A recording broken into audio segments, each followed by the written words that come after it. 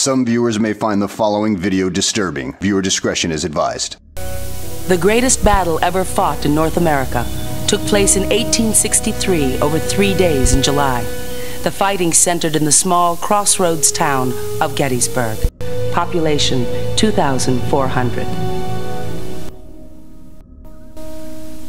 This crucial battle of the Civil War claimed the lives of some 6,000 Union and Confederate soldiers.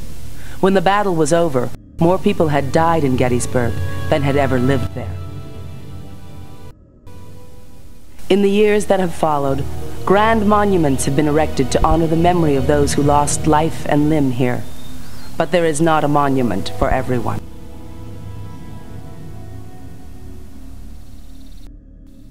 Some believe that many spirits wander this place because they simply want to be remembered.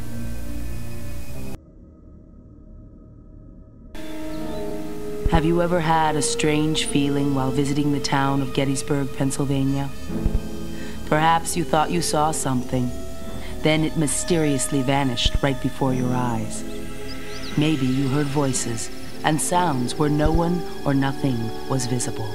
If you have, you are not alone. Gettysburg's visitors and residents alike report a remarkable number of supernatural incidents that continue to take place here. Some say they are somehow connected to the battle that this town is famous for.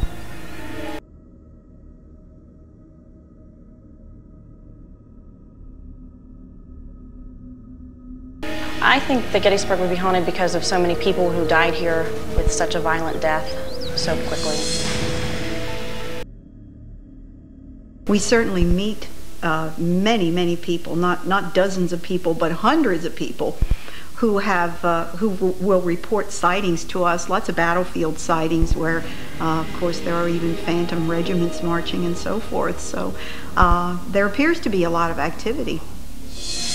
I think Gettysburg is haunted because there's probably more uh, people killed here in one spot, one small town, than in any place on the North American continent, and they're all young people who never expected to die.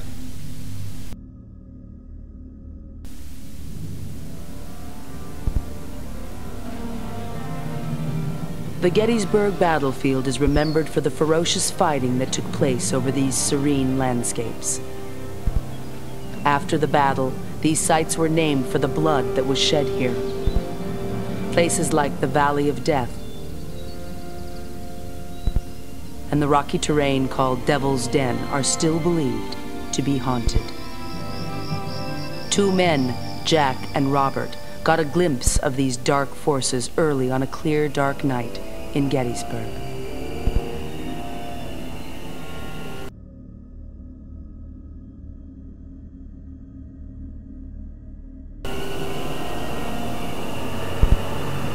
Story that happened a few years ago, uh, a couple of fellows took a ride on the battlefield. It was in the evening. Uh, they were anticipating maybe seeing something. Uh, it was an eerie night, and uh, it was kind of fun. The men drove slowly under the ink-black sky that hung above Warren Avenue, the road that leads to Devil's Den. As their car turned a corner, something appeared in the trees.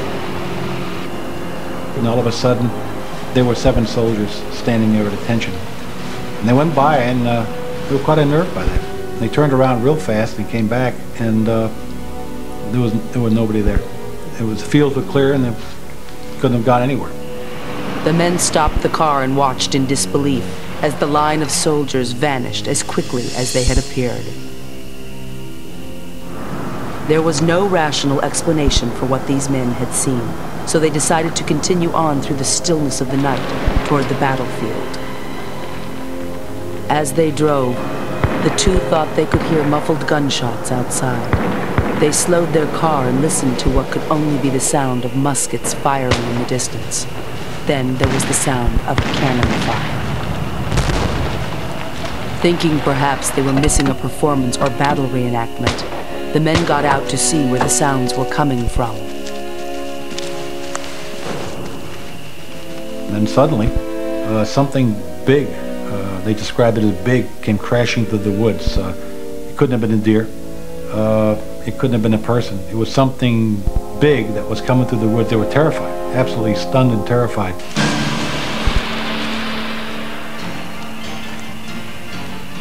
It seemed angry and was quickly coming toward them. They ran for what they hoped would be the safety of their car.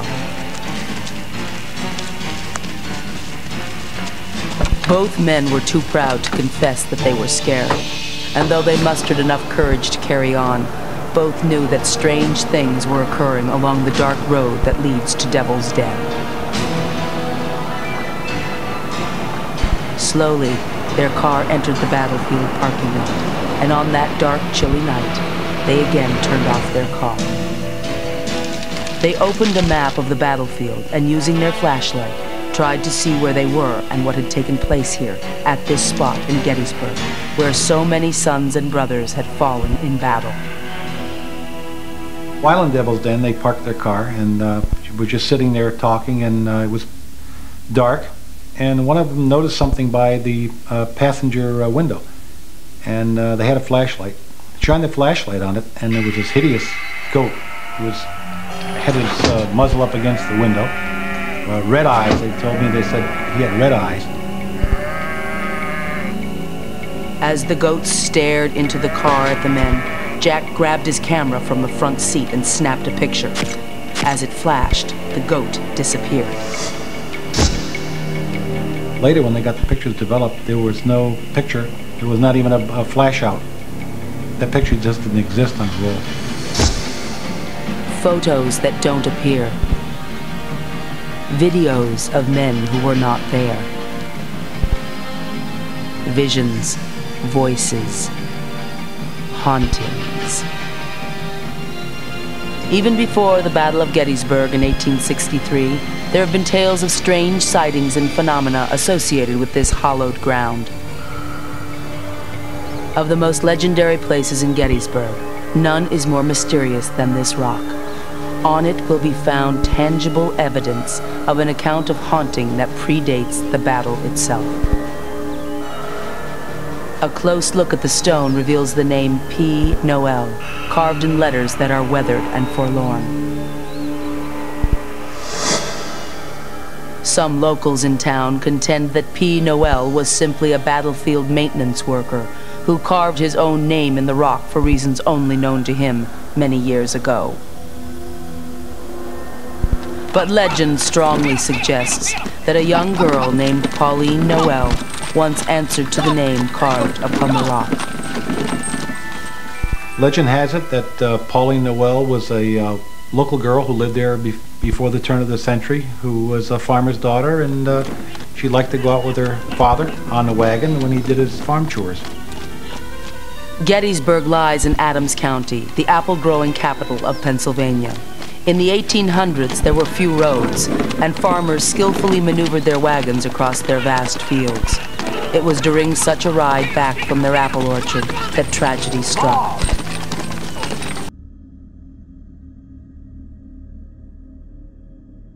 The wagon hit a rock, and Pauline was thrown out under the wheels of the advancing wagon.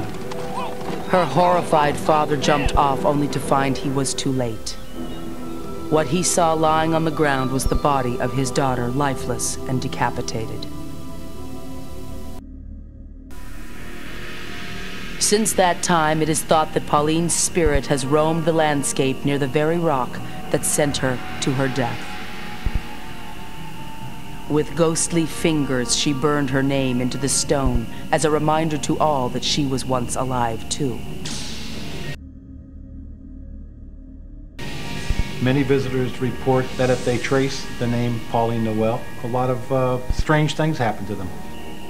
The few who dare run their fingers through the etched grooves at night have been witness to what can best be described as the wandering spirit of a headless girl.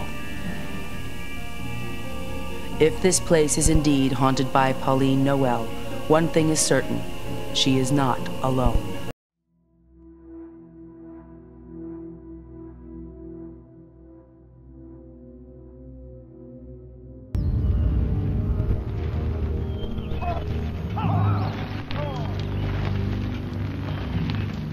Classic Gettysburg ghost story was born out of one of the most bizarre incidents of the entire Civil War.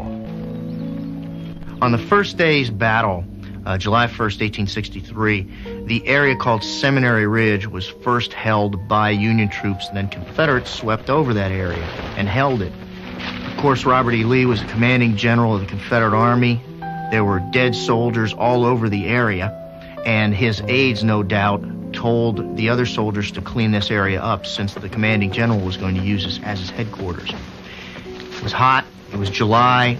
The first thing that they did is they gathered up all the bodies, and rather than burying them right there in front of Robert E. Lee, what they did is they would put them in basically cold storage.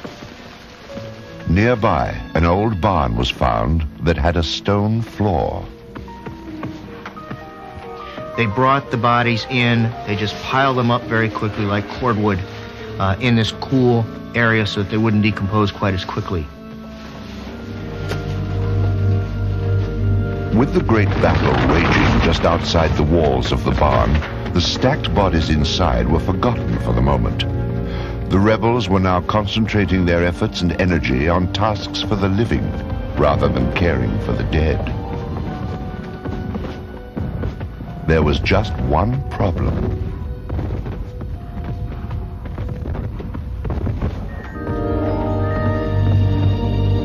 A mistake had been made. The man had been wounded and was unconscious when picked up off the field. But he was decidedly not dead. Help me! He, no doubt, was paralyzed uh, partially, and of course, with uh, hundreds and hundreds of pounds of human flesh lying on top of him, he couldn't crawl out. He couldn't remove himself from that hideous situation. It was the beginning of a waking nightmare. Perhaps one of the worst nightmares any human being can imagine is being buried alive. You can't move, you can't remove yourself from the situation. It's dark, you're trapped. And of course, in his situation, it was even worse because he had human flesh uh, that was decomposing uh, right above him. And of course, you can just imagine the smells and the bodily fluids and the uh, just the sheer horror that this poor individual was experiencing as he lay underneath this pile of uh, rotting human flesh.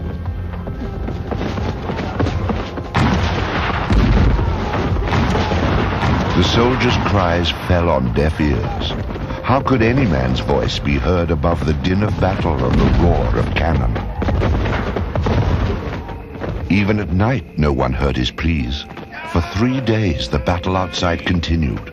The eyes of the world were focused on Gettysburg, but the ears were directed elsewhere, oblivious to the sound of the entombed man. And then, finally, mercifully, the fighting was over. The defeated Confederate army withdrew from the area. As in all battles, it was up to the victor to bury the dead. Triumphant Federal troops began the grim task of sorting bodies and digging graves. By this time, the young rebel had been under the body pile for five hellish days. When the Federals finally stumbled onto the pile in the barn, the soldier had almost no life left in him.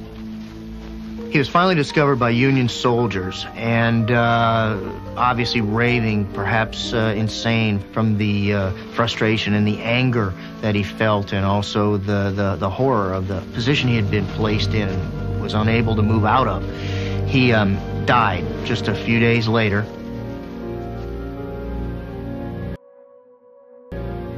In the aftermath of the battle, carpenters worked overtime building caskets. But it was soon apparent that the number of dead bodies in Gettysburg far exceeded the Union's ability to give all fallen soldiers a decent burial. Unmarked graves containing dozens of fallen men became the standard operating procedure of the day. In truth, only a few Confederate soldiers received proper burial at all. Perhaps because of the terrifying ordeal he had gone through in the barn, the young soldier, who had been buried alive, was now selected for such an honor. He was laid to rest in a casket just yards away from the old barn where he had spent his last terrifying hours. Therefore can I lack nothing. You shall feed me in a green pasture.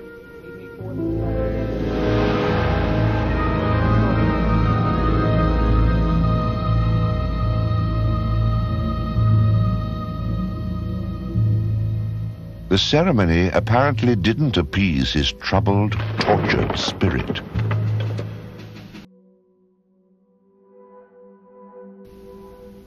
Even in death, you can imagine that he must have been very, very upset and very angry and perhaps even raging uh, after death. Maybe he's caught in that uh, uh, netherland between life and death because of this anger, this unresolved rage that he felt. Just days after he was buried, the old barn mysteriously burnt down. In its place, on the old stone foundation, a beautiful farmhouse was erected. Over the years, through each passing generation, every owner of the farmhouse reported that an angry, restless spirit dwelt in the basement of the house. It existed in a room located right where the young soldier had suffered and died. The spirit's anger and rage was so intense that it had driven many owners from the building. Even when it wasn't trying to scare people to death, it would play mind games with them. A couple moved into the house, and right from the beginning, they felt that there was something not quite right, finally culminating in uh, one night of absolute horror when uh, the door to that back room, to that little stone room, was uh, banging and moving. The couple were sound asleep. They heard what the woman described as an explosion down in the cellar. She thought perhaps the furnace had exploded.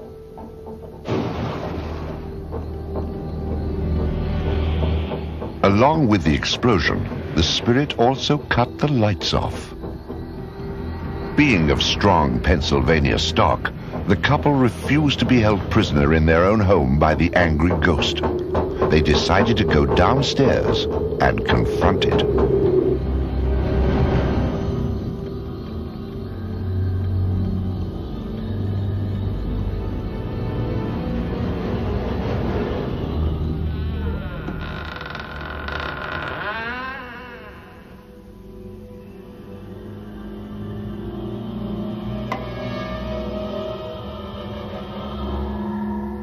The ghost had used this light trick before to intimidate the owners. The couple wanted an end to the nightmare, but they knew they'd have to appeal to a higher authority if they were going to rid themselves of the angry, tormented spirit. They called in a priest. He confirmed that there was a spirit down there and that the spirit was tormented and, uh, and unhappy and angry, that uh, he had been left in that uh, hideous pile drastic measures were called for. It was decided that the priest would perform an exorcism, not just to bring peace to the house, but hopefully also to the tormented soldier's soul. The exorcism is a very uh, elaborate ritual using the cross, holy water, the text, a special text, special garments, and uh, he had a desire to uh, uh, help the spirit along, to move the spirit along out of its its, its horrible situation that it had been in for uh, for 13 decades.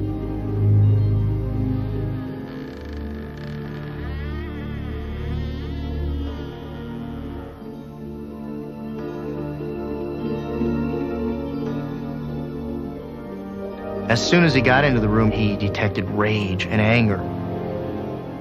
In the name of the Father, and of the Son, and of the Holy Spirit. Amen. Cede this place to Christ. He wasn't really sure whether uh, he was going to be able to cleanse the house of this um, angry spirit or perhaps become a victim of it himself. The uh, cleansing took an incredible amount of energy out of the priest. Luckily, God was with the priest. His voice reached out over a century to the troubled soldier.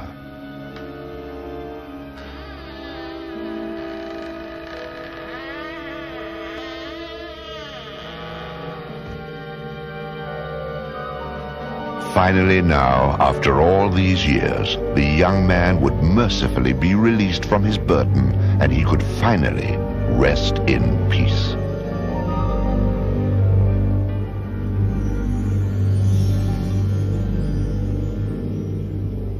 As the priest left the room, he made one last gesture.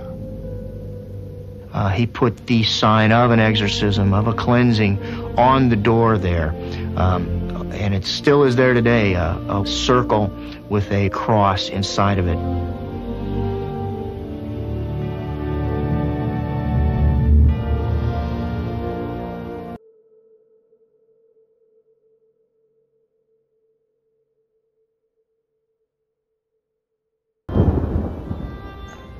Dr. Charles Emmons of the Sociology and Anthropology departments at the college has spent years exploring the shadowlands of the Gettysburg landscape.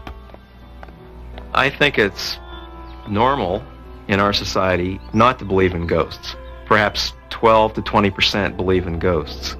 And less than 10 percent probably have had a ghost experience. And if you want to be scientific about it, you should be skeptical.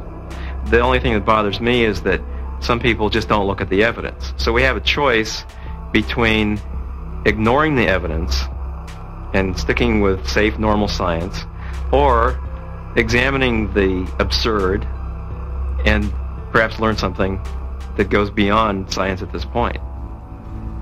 One building in the Gettysburg area that has spawned its share of ghost lore is the Cashtown Inn.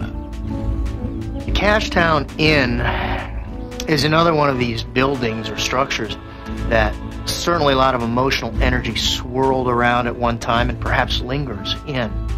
The inn itself was there for years and years and years before the Battle of Gettysburg, but played an important part in the campaign.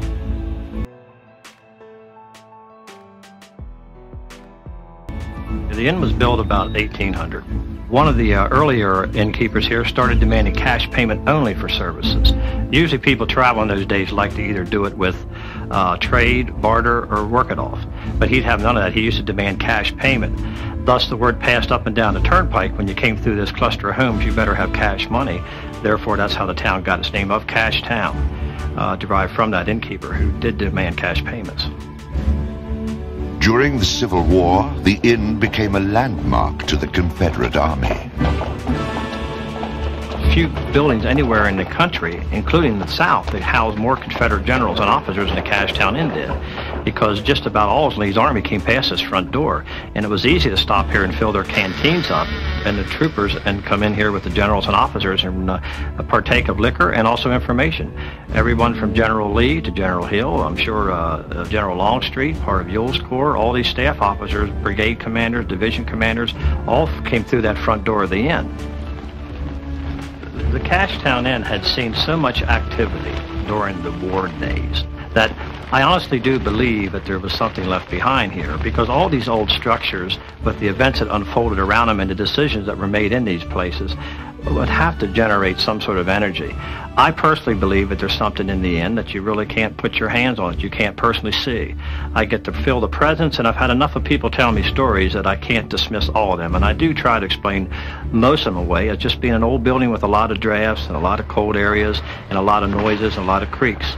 But when a certain people from different parts of the country tell you enough of stories and they don't know anything about these books that's been written or different things that have been done on this here, you almost have to find truth in, in, in what's, what they're saying. Room number four at the inn has received the most attention because of reports of odd sights, sounds, and happenings by various guests. We have people come here specifically asked to stay in room number four, and uh, that's because they have an interest in spirits too. But I explained to them that the, if there is a spirit of the Cashtown Inn, that he's not confined to any particular room or space. And there's been stories told about him being seen or things happening in different parts of the inn. You can pick it up again, like some kind of radio waves or some kind of movie that was left behind.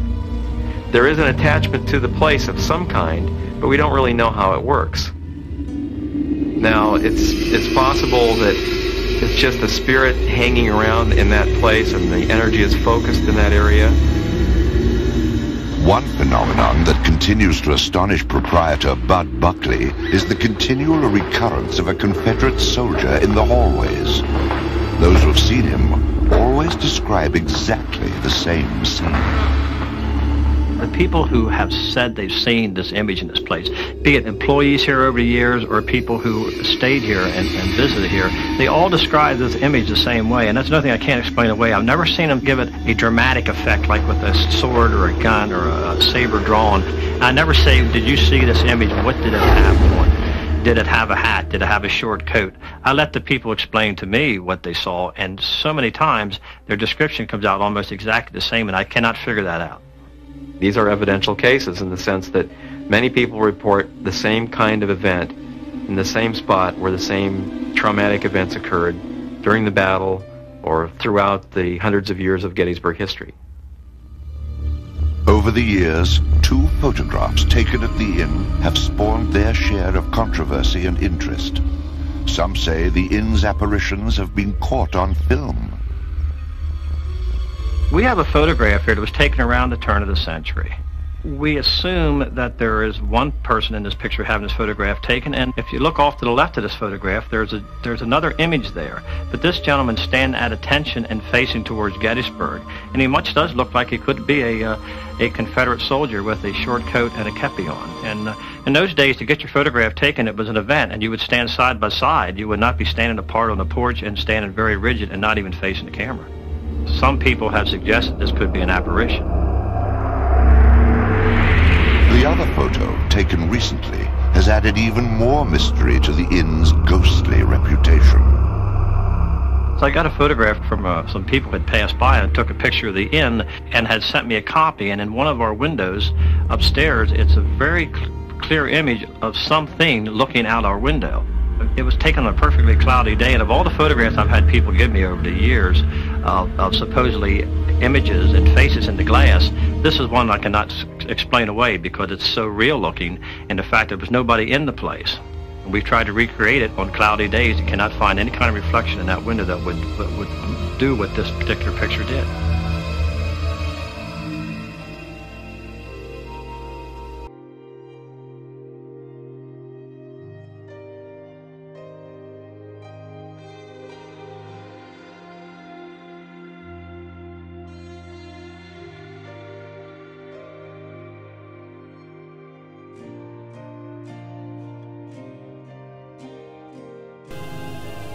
In October of 1862, General Jeb Stuart's Confederate troops raided the inn.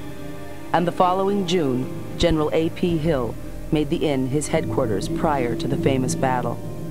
More Confederate soldiers and generals have walked on this porch than any other in the area.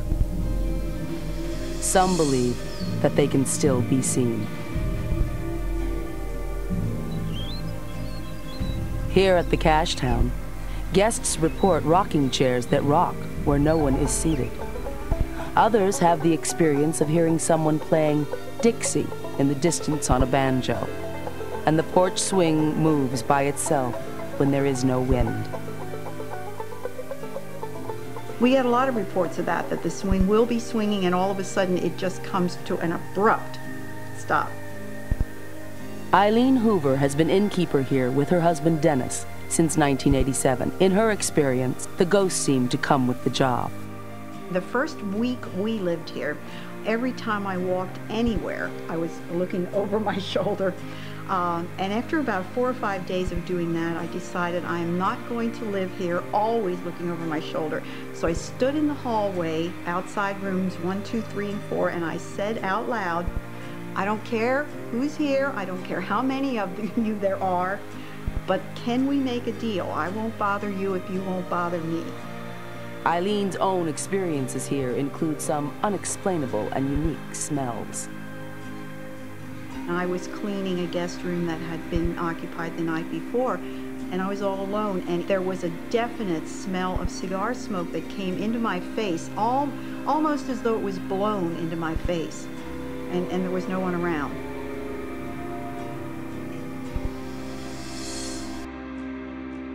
But the best way to meet ghosts at this inn is to check in for the night.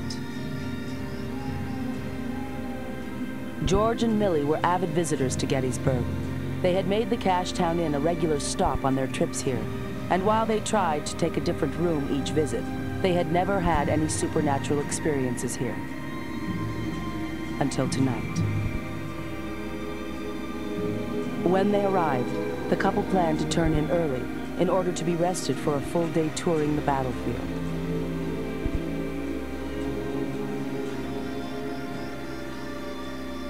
To sleep inside the Cashtown Inn is to be engulfed by feelings of timelessness, stillness, and indeed by history itself.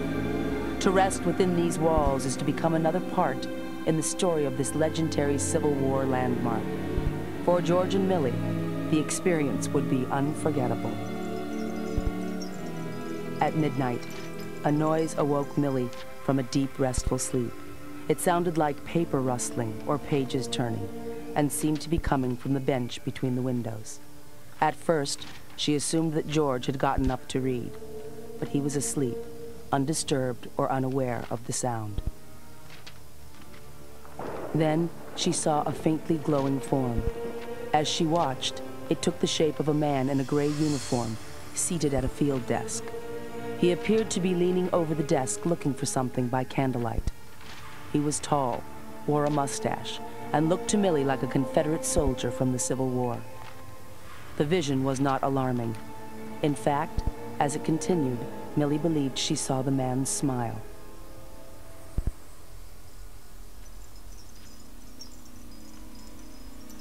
Over the next few moments, the gentleman continued his ghostly paperwork. Then, as slowly as he had materialized, he began to disappear. The sound of papers rustling remained for a few more minutes and then was gone.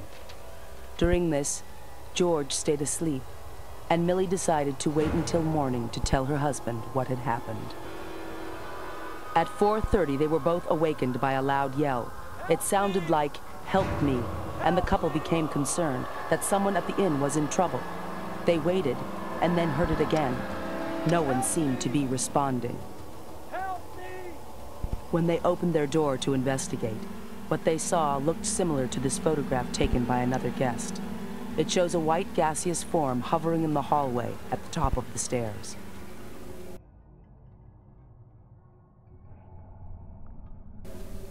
We've had people who have been poked and prodded in bed during the night. We had one woman who felt hands underneath the mattress just lifting up the mattress, lifting it up and down. Uh, rather dramatic things, and it's amazing that those people do not come down to breakfast really frightened. The haunts of the Cashtown Inn are most likely due to the fact that Cashtown was along the route of the Confederate retreat from Gettysburg. The inn was used as a field hospital and it is believed that countless wounded soldiers died inside. Today, tourists come here to relax and enjoy the charms of this quaint 200-year-old inn. But when Craig and Irene arrived here on a July afternoon, they were in for more than relaxation.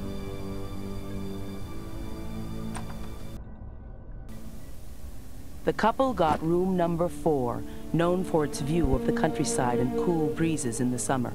They unpacked and settled into their room. Then they got ready for an early dinner and a walk in town.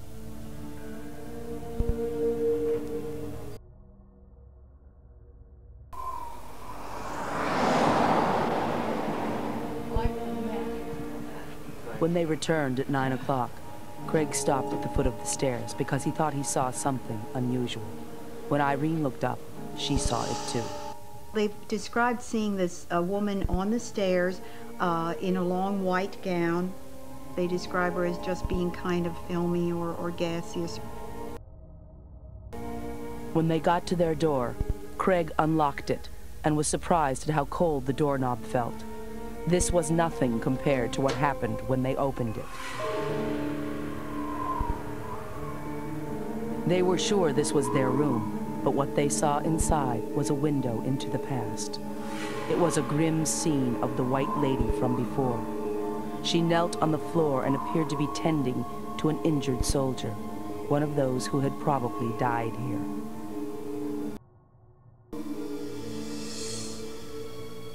Within seconds, the room returned to exactly the way they had left it. Stunned, the couple slowly entered and looked around.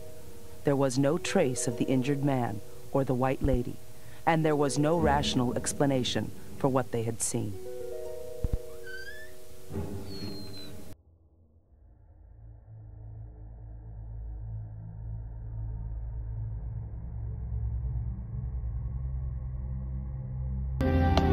What we call Gettysburg College uh, today was once known as Pennsylvania College. And it was much, much smaller than it is today. There were only three buildings uh, on the Pennsylvania College campus. There was uh, Linnaean Hall, there was a building called the White House, and a very, very large edifice called Old Dorm, today called Pennsylvania Hall. The back there was immediately confiscated by the surgeons and used as hospitals. Every single structure was filled overflowing with the wounded uh, refuse of the battle. Old Dorm, being one of the largest structures in the area, was also filled overflowing. The lower floors they used mostly for the operating rooms, the upper floors for the recovery rooms. It's July, it's hot. Uh, the lower floors uh, soon became became sticky with gore and, and the heat and sweat of uh, wounded men. Amputations were a common thing, and to throw the bone out the window or bones out the window on both sides or doors or whatever, or they carried them out in baskets or however they did it, you know, the old belief that the National Cemetery is the only place that anybody was buried during the Battle of Gettysburg, I think, is fictitious as these people were dumping stuff, they weren't carrying them out other places and being real cautious and careful as they might be today at a hospital or something like that. I believe if they dug the areas, and I'm certainly not advocating come dig on my campus because you you will be arrested if you do that. Um, but I believe if they dug down, they'd probably run tons of artifacts, probably some bones, and it's um, it'd probably be pretty amazing what all they'd run into because it's been there for so long. Old Dorm now is uh, the administration building for Gettysburg College. And uh, the people over there are hardworking individuals. They work sometimes late, late into the night. And um, two administrators were working late one night and uh, decided finally that they were exhausted and decided to wrap it up. So they walked down the hall together to the elevator, the same elevator they had taken hundreds of times before, uh, down to the exit on the first floor.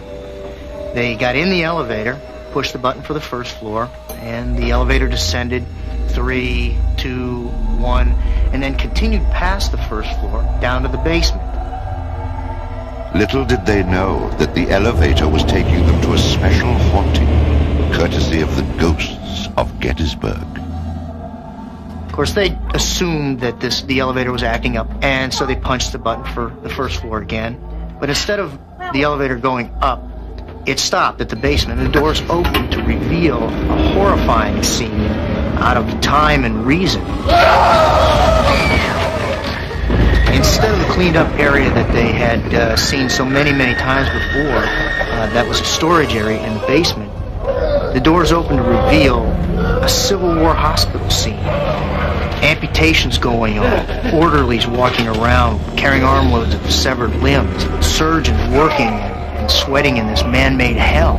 Wounded soldiers writhing in the corner, waiting to be operated on. Um, other people in agony in the far reaches of this area. The women uh, almost panicked. They, this scene was just so unbelievable and, and, incredible to them. They punched frantically at the buttons, uh, trying to punch the first floor button to get them out of this. One of the surgeons looked up from the from the grisly task before him and beckoned to them beseechingly to come in and help with this never-ending ordeal that he'd been going through for 120 years. And of course, to enter this scene was the last thing they wanted to do. All they wanted to do was leave. They punched frantically at the buttons again, and finally, slowly, the doors began to close, and the elevator took them back to the first floor. One of the women immediately reported the incident to campus security. Something had frightened her because she obviously, just by her emotions and her mannerisms, was scared literally scared to death. The individual making the report was an administrator for the college, a person I had known prior to the incident and after the incident, always pretty level-headed, very normal. We went over and the elevator was fine, the mechanisms in the elevator was fine. There was nothing in the basement. We checked the building to make sure it wasn't a college prank. There was no indication of any kind of outside entry, anything unusual that would warrant thinking that this was somebody that had made up the story just for attention.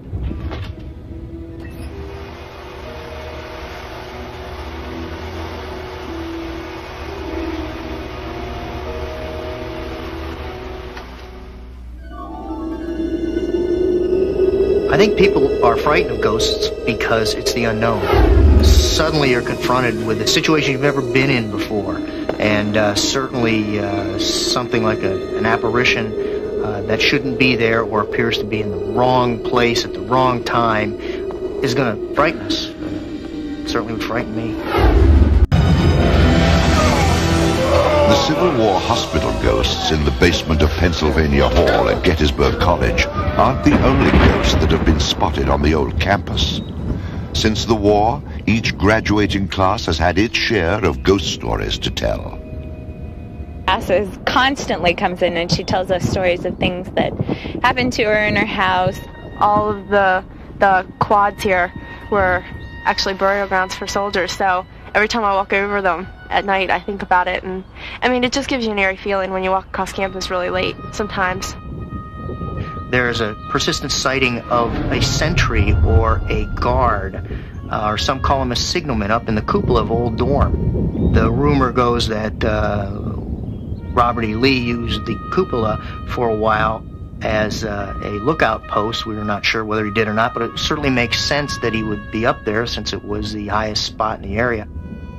I interviewed one of the people firsthand who had the experience, and one of my students that I worked with very closely saw it himself. I believe him if he said it, and he knows of another person who did. And there was at least one other time where someone was interviewed for a paper in my class. The person saw the same thing essentially on, on the cupola. The campus theater also has a history of ghost activity. There's a story that comes from uh, Kline Theater. And the story is that there is a certain officer, a general officer dressed in con- a Confederate uniform, who appears on certain nights. He was seen by a couple of uh, stagehands. They were preparing the stage. There was a chair in the middle of the stage. One stagehand was up on um, a ladder. Another one had just walked onto the stage. And the one on the ladder looked down and happened to see in the empty chair the general sitting there called to the other one as the other one turned and got a glimpse of him the general disappeared Ghost sightings have been reported in many other buildings on campus.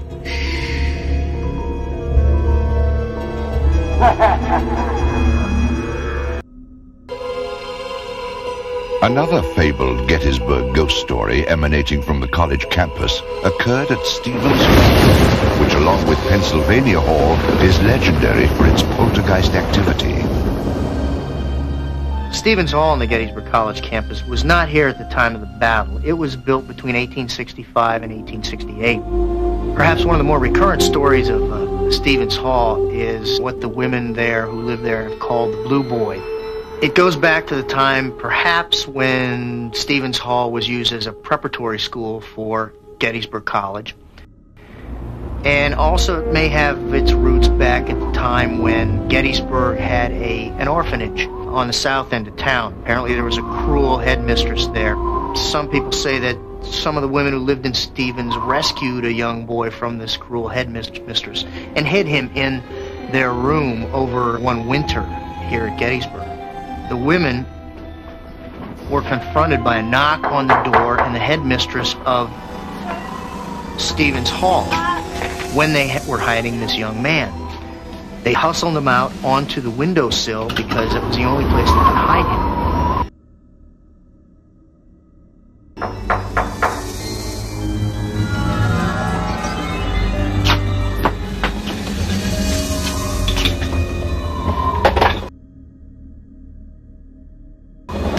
Headmistress opened the door, she searched around the room and couldn't find this young man. And then told these women that they would have to come downstairs and talk with her for a while. For about an hour, she grilled them in front of the cozy, warm fire, and of course, their thoughts kept going back to this young man.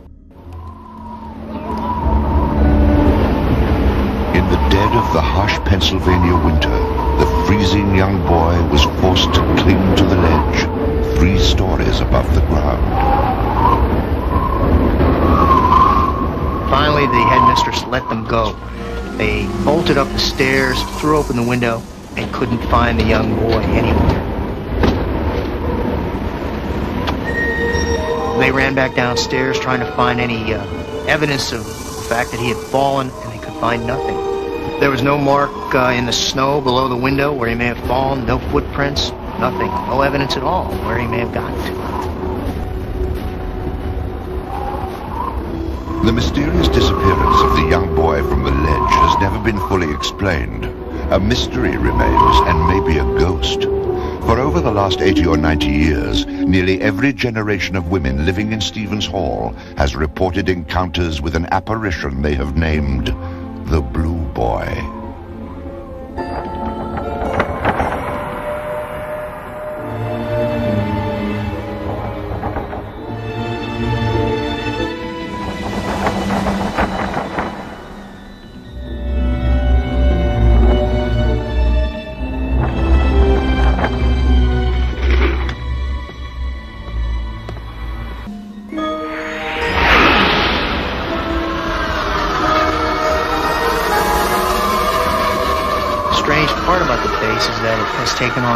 Bluish tinge, the color of, of human skin after it's been exposed too long to the, to the cold weather.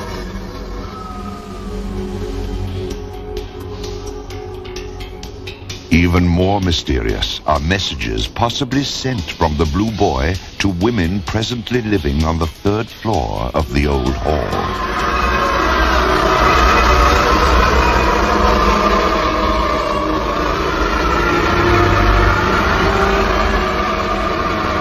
Never solve the Blue Boy riddle, but ghosts throughout history remain one of life's great mysteries.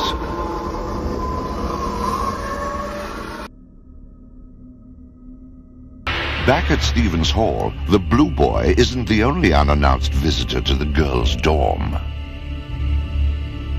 There are numerous reports of the sighting of a young girl in some of the rooms who doesn't really belong there. She seems to be interested in the clothing of uh, the modern day women who uh, inhabit Stevens at this time. The women come back from a late night date, open the door to their room,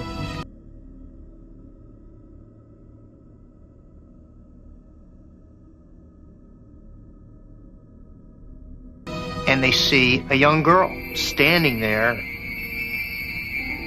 Hey, what are you doing?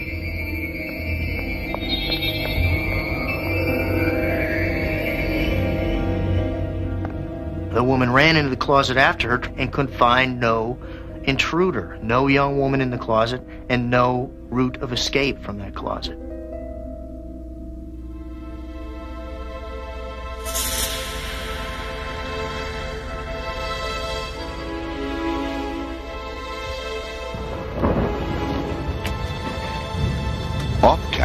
Another resident of Gettysburg who had a ghostly encounter was a woman who worked late at night typing papers for college professors. Her poltergeist encounter ran the full spectrum of ghostly communication.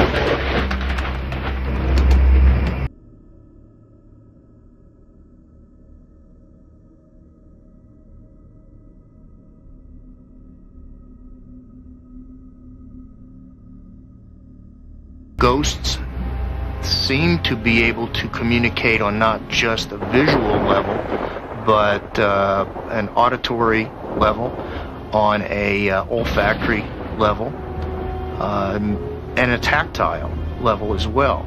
So there are many different uh, manifestations of ghosts. The woman had never felt comfortable since moving into a huge old house located on Broadway. One night, she found out why. I began to have these feelings that something was wrong. I just didn't feel that we were alone in the house, that I felt uh, another presence there. I started feeling a sensation that uh, someone was behind me. You know how you feel when someone is standing behind you. And I turned around and nobody was there. And I thought, this is strange. Besides the feeling that something was watching her, she was also overcome by the sensation that she was sitting in the middle of a cold spot, a phenomenon that often accompanies ghost sightings. It's a chill that you cannot explain. I mean, no amount of cold weather has ever given me this type of chill. I've never had a cold from, say, snow or anything like that to chill the very core of me. And this chill does, it, it goes right through you. Cold spots are very interesting. I found that all of the people who had a feeling of cold had the feeling of cold before the apparition occurred. Most people, if you ask them, would assume that you feel cold because you're scared, scared by the ghost. But in all of my cases, people got cold first and then had the apparition. Most of all, though, there lingered the feeling that she was not alone. The feeling persisted, just this overbearing feeling that something was behind me. And again, I turned around. At one point, I got up, walked out into the next room. I felt more and more ill at ease that something was there. Something was wanting me out of the family room, or at least off the bottom floor, off the first floor of the house. The fear became really intense. Still, there was always the possibility that her mind was playing games with her. She had a job to do and a pressing deadline, so she decided to go back to work. Being haunted was not the first thing that came to mind when she tried to figure out what was happening. But finally, the feeling became too much. I felt that whatever it was just wanted me out of the way, so I accommodated it. And I left. I just felt that I needed to get upstairs right away. I stopped and looked back toward the library, and when I did, I saw this large column of blue light coming from the family room that I had just left. It was just long, symmetrical, glowing blue light. Well, needless to say, I didn't stay long in that spot. I mean, I don't even remember making it up the rest of the, the stairs at night. The incident profoundly scared and confused her, but not enough to drive her from the house. She's probably wondering if this is really happening and if she should give it full attention. It's um it's a difficult thing to decide. I don't think she was necessarily entirely freaked out about the situation. She was concerned. She was upset in a particular moment. And but she would decide to just leave and run away, and go upstairs, and it would go away. I think it's she didn't think that it was that serious that she had to leave. Within days, she returned to her nocturnal work habits. But now she also observed the light patterns made by cars passing the house, believing there must be some rational reason for the mysterious blue light. I would stand late at night after I'd turn out the lights and wait for a car to come by, to turn the corner, to come down in front of the house, to see if lights from the street would cast this light in the library. Never once did I ever see a car light cast the same shadow or the same light in the room. Still, she began to experience the same sensations as before. The chilling cold spots and the intense feeling that she was not alone. Also on this night came the sounds. I started hearing sounds coming from the library of papers being rattled around. It sounded like someone was going through my husband's desk. When the noises started getting um, much worse, much louder, more intense, and when once I got up enough nerve I got up and went in to check it out. Of course, nothing was there. I went back to my typing and, of course, trying to overcome the fear that I had of what I had just seen.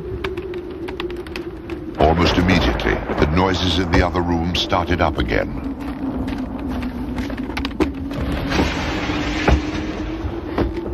She decided that was it. She wasn't going to work anymore. She started going up the stairs and paused just for a second to look around to see if maybe her eyes weren't playing tricks on her. And the blue column was there. Not only was it standing in the doorway, but as she paused, it started moving out of the doorway and towards her. Needless to say, she sprinted up the rest of the stairs. And this shook her up for a while because she didn't go back to her late night work for uh, several nights. Although frightening, these strange encounters were also intriguing, and they began to tap into something the ghost may not have expected in the woman grit and determination. For she decided not to be run out of her own house by the apparition.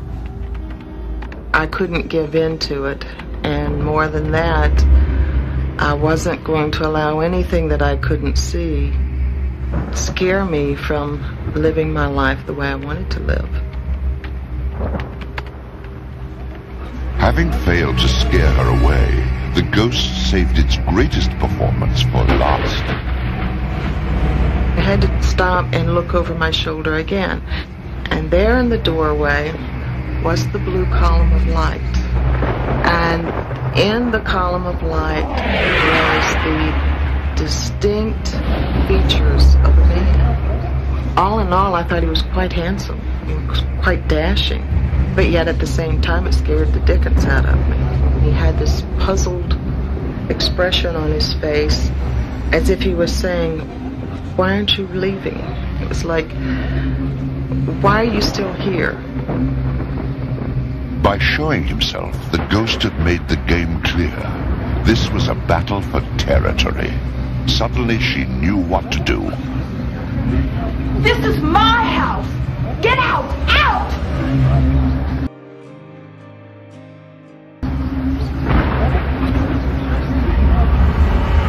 Sounds like an exorcism. I don't know how to take this exactly. It could be that she just somehow made the the spirit feel that it wasn't worth the conflict. She was arguing back. She had dealt with the trauma and it wouldn't occur to her again. There's something in me that says sometimes if you can put a face to your fear, will help you to overcome it. There's no doubt in my mind that what I experienced in that house was something paranormal. What I experienced was real.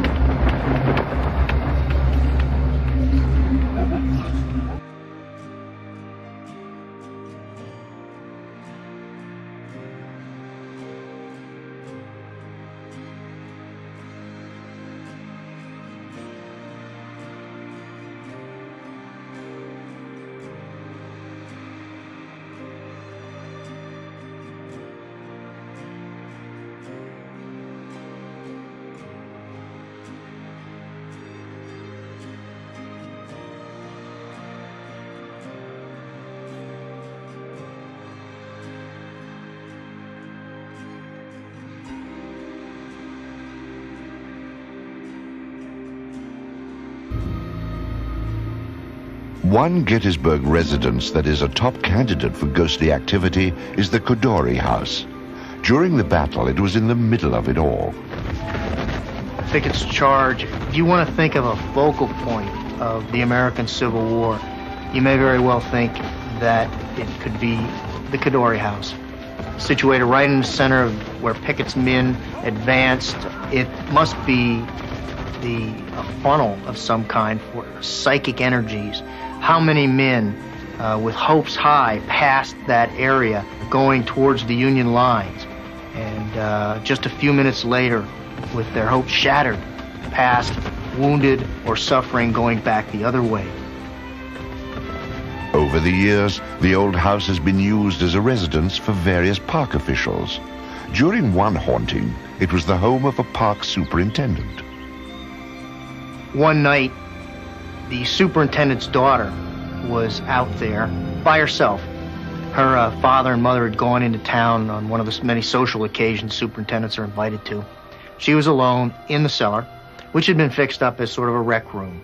All of a sudden, she heard footsteps across the floor above her head.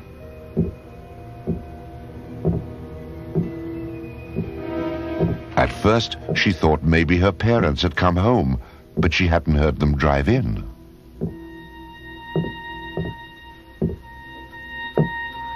Mom? Dad? Suddenly, she realized it wasn't her parents, so it must have been an intruder. And of course, the Codori house is out in the middle of nowhere and far from the uh, local police or the ranger station.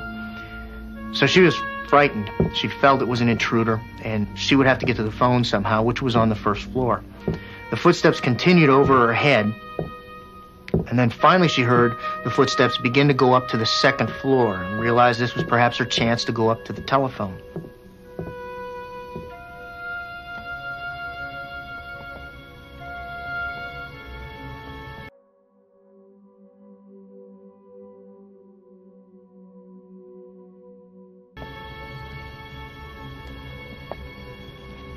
She got up to the first floor, picked up the phone, called upstairs, walking all around, uh, looking, seeking something.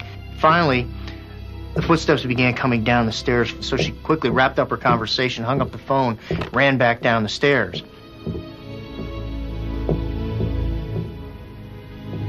It seemed like an eternity while the footsteps above her head, the intruder kept wandering back and forth into the kitchen, into the dining room, back out into the uh, living room. Finally, she heard the footsteps slowly crossing the floor, approaching the uh, door to the basement, and uh, was getting more and more frightened, of course, because it was only a matter of time before he reached uh, the place where she was hiding, in essence, and the intruder would uh, come down the stairs, and she would have to confront him. She was so intent on listening to the footsteps coming closer and closer and closer to the stairs to the basement where she was hiding that she apparently didn't hear the ranger vehicle drive up.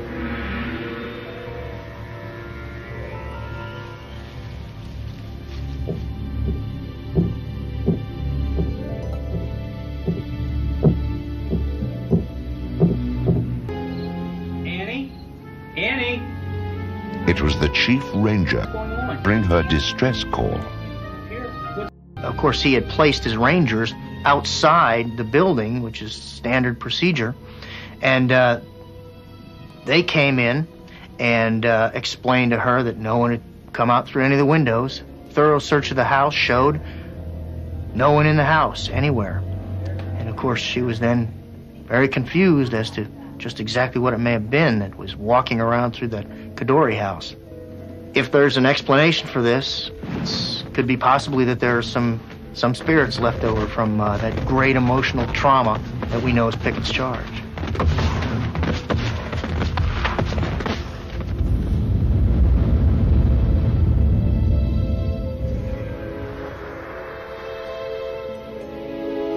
The young are not the only ones affected by ghosts, and their sightings are not just a modern phenomena. One ghost appearance happened just years after the war and occurred to the oldest soldier to fight in the battle, Gettysburg's legendary old warrior, John Burns. John Burns was sort of a cantankerous uh, elderly gentleman, uh, uh, very active. He was constable in the town of Gettysburg one point in his life, and he also served as an officer of the court. With the commencement of the battle on July 1st, 1863, Burns was determined to enter the fray. In retrospect, the opportunity to go to war fit his personality perfectly, for he wasn't one to back down from trouble, and he was also a super patriot. Nearly everything about him was antiquated. The rifle he carried was an out-of-date flintlock, possibly left over from the War of 1812. His clothes were equally out of style.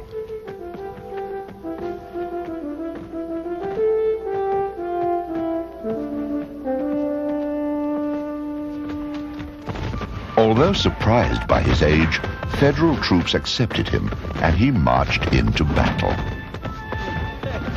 As a younger man, Burns had already had some military experience, so he fell right in with the ranks, although some of the men taunted him because of his age. He gets taunted by the Union soldiers. Oh, you know, in essence, something like, oh, go home, old man, you're going to get hurt out here. Once in battle, though, he seemed to have gained the respect of the younger men.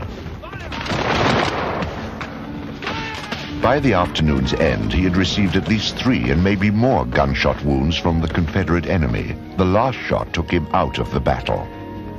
He was carried back to his house, nursed back to health. He was written up uh, by every reporter who could taste a good story. And he did become, an, in a sense, a national sensation. But several years after the war, uh, Burns, then about 75 years old, found himself one summer evening walking along the area of the McPherson farm.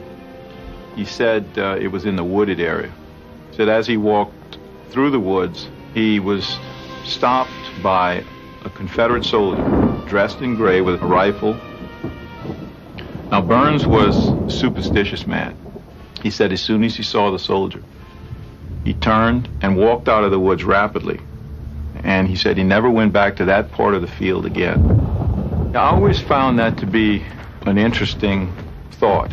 The idea that someone who could face bullets, artillery, people trying to kill you, but yet was afraid to walk out in the woods at night.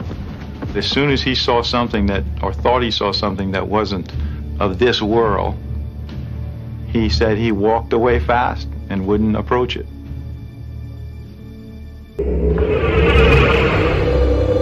There are those, though, who will never believe a ghost story. Do you believe in ghosts yourself? No. You're not a believer at all? No. I have collected in just three years or four years approximately 130 stories of ghostly activity, sightings on the battlefield and in the in the environs of Gettysburg. If someone says that ghosts don't exist, then they're going to have to prove that to these 130 or so individuals who've seen these things, who've actually experienced this. Virtually every major religion on the face of the earth believes in some sort of life after death. Whether this life after death that the religions believe in uh, manifests itself in ghostly activity, or whether it manifests itself in reincarnation or heaven, certainly that points to some sort of existence after death. Sir, do you believe in ghosts? Uh, yes, yes, I do. Um, somewhat. I, I think there's something out there, um, some other world that we don't know about yet. Um, what it is, I don't know. Mark Nesbitt is definitely not alone in his interest with the spirit world. Even the Civil War residents of the White House were fascinated by it. Abraham Lincoln was involved in the spiritual world. He uh, allegedly had seances at the White House. Certainly his wife was involved, Mary Todd Lincoln, was interested in uh, the spiritual. A number of uh, residents of the White House have noticed or even sometimes complained about presences in the White House. So many of the presidents have seen spirits in, in the most famous house in America.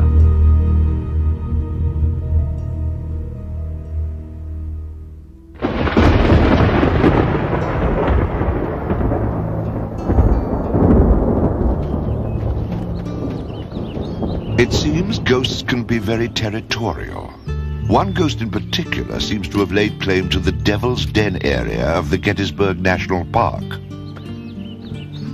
One morning, a woman came in to the Park Service uh, headquarters and asked her, Are there any ghosts out at Devil's Den?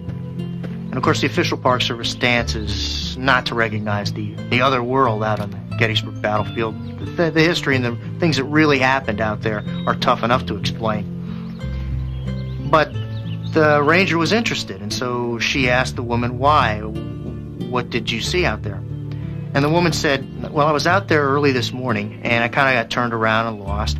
And so I got out of my car and walked into Devil's Den and decided I was going to take a picture. It was a pretty morning, and I needed a, couple more shots on my camera. And um, she said I had the camera up to my eye, and all of a sudden I felt a presence.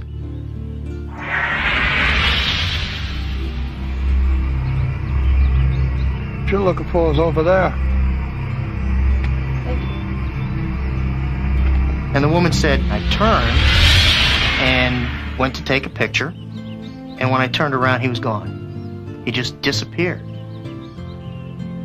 The woman wasn't the only witness of the ghost of Devil's Den. Over the years, there have been other sightings of the scraggly apparition. And each time he's been described as looking exactly the same, like a war-weary soldier from a long ago Texas regiment. One of the regiments that's most associated with Devil's Den is the 1st Texas. Fought so hard, sacrificed so much to drive the Union soldiers out of Devil's Den. Many of the Texas regiments from Hood's division were described by their own contemporaries as being rather rather rugged looking. Remember Texas was the frontier back then. Some claim Gettysburg's Eisenhower Farm is another historic site visited by ghostly apparitions. Of course, two presidents are associated with Gettysburg, Abraham Lincoln and Dwight Eisenhower. And of course, Lincoln only stayed here one night. But Eisenhower, Dwight Eisenhower, decided to make this his home.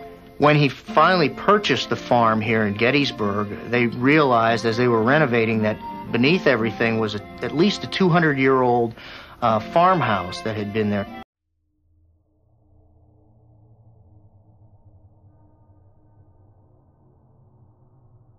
Various people who've worked out at the Eisenhower farm, from employees, from the Park Service to Secret Service people, have um, uh, related sounds, the auditory uh, experiences of uh, that are that are unexplained.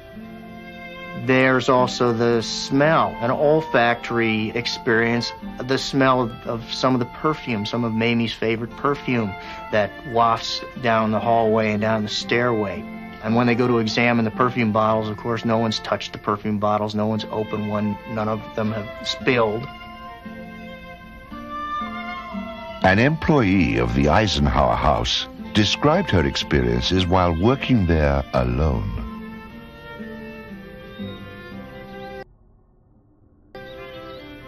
There is a wooden barrier at the dining room doorway that would prevent anyone from walking into that room directly, yet it allows people visual access to that area. I was standing at the top of the stairs by myself and I heard somebody walk from the living room across the foyer into the dining room and it attracted my attention to the point where I followed the sound with my eyes, and the sound continued through the dining room just as if the barricade wasn't there. The other thing that I experienced in the house was one evening I was in there by myself and I was on the sun porch, and all of a sudden I heard a bell ringing, like a handbell that was coming from the butler's pantry. There's a hand bell that sits on top of a refrigerator in the butler's pantry. And I picked that bell up and I rang it. The sound that I heard when I rang it, even though that was the same sound, it was different. The sound that I had heard earlier was as if it was in, dare I say it, another dimension.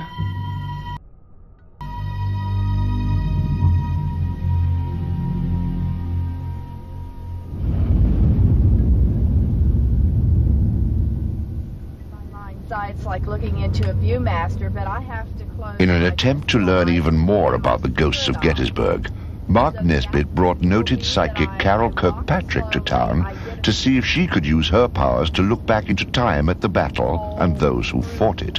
Of horses and men, and I've been down. She indeed has a special gift. She um, has helped a number of law enforcement agencies all over the country to uh, come up with uh, leads, clues to what they have written off as unsolvable mysteries. One ghost mystery they wanted to get to the bottom of was that of an apparition sighted in the home of Joe and Colette Hood. Who moved in our house in September 17 years ago. when uh, in October I was home basically during the day. It's an old farmhouse, and when I would walk from one room to the other, um, I would spot this image at the top of the steps going across from room to room. And um, I would look up and see her, and I think, oh, well, I didn't see that, and I'd just go on about my business. Didn't say anything to anybody for, I guess, over a year. But the ghost continued to haunt her. Finally, she told her husband. She didn't say that she was afraid of it at any time because I'd asked her that. And I did not feel afraid in the house. The house is, is a very warm feeling house, very comfortable, you know, even if there was something in there. I can't say that, that the house is a scary type of house. The Hood House is near Spangler Springs. At one time, they theorized that their ghost might be the famous Woman in White. We'd heard about the lady at Spangler Springs in white and thought perhaps that the lady at Spangler Springs was the lady that this was she that lived in our house because we have handwritten deeds that go back to, to 1833 that says these uh, were owned by Spangler at one time. Carol Kirkpatrick was brought in to give her read on the situation. She almost immediately picked up on part of the past history of the house. The Hoods already knew this part of the story and verified it. It was a, a hospital during the Civil War. I do know that the Confederates had the house the first day of the battle. Uh, the second day, the Union came in, chased them across the road, and held the house 17 days after. The psychic soon zeroed in on what might be the mystery apparition's identity.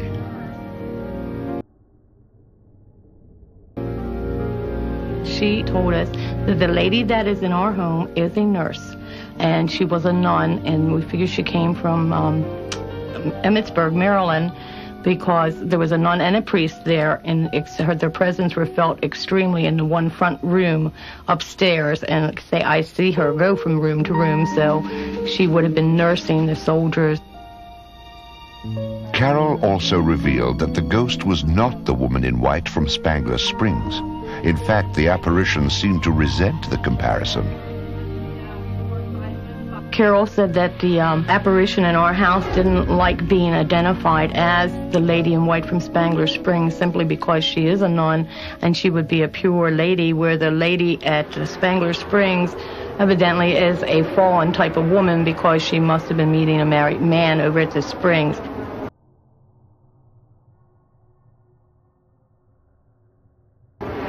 Immediately after I'd found it was a nun in the house and I went back into my background, the crosses went up on the wall. that was it.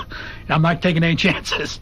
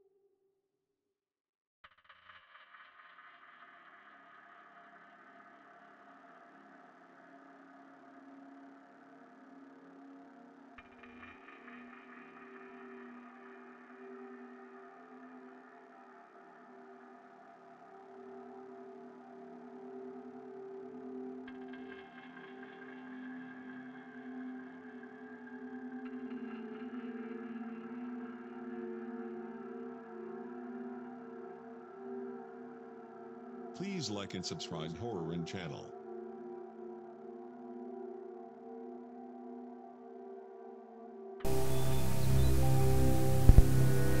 Author Bob Wasel collects stories of mysterious occurrences in and around the Gettysburg area. His book series, entitled Haunted Gettysburg, presents a compilation of the letters and reports he has received while researching these strange events. I think one of the things that uh, triggered my interest in uh, Gettysburg and the haunts of Gettysburg is the tour of the Jenny Wade House, and that was very unnerving.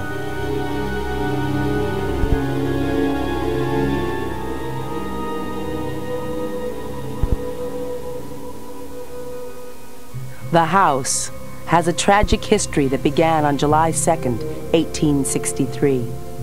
It was the second day of fighting. A 20-year-old woman named Jenny Wade took refuge with her mother in this house on Baltimore Street. General Abner Doubleday's Union troops were in retreat during an onslaught of Confederate artillery fire. Hungry and thirsty, the soldiers gathered outside the house. They hoped for a brief respite from the fighting. They needed food for their empty stomachs and water for their canteens. Jenny Wade dutifully obliged the men. She handed out bread that she had baked and saved little for herself and her family. By the afternoon, the bread was gone. Now she could only offer the men water. Even for this comfort, the weary soldiers were grateful. At six the next morning, Jenny Wade awoke and read a passage from the Bible.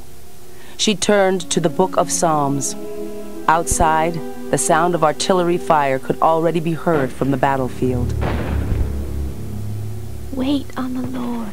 Be of good courage, and he shall strengthen thine heart.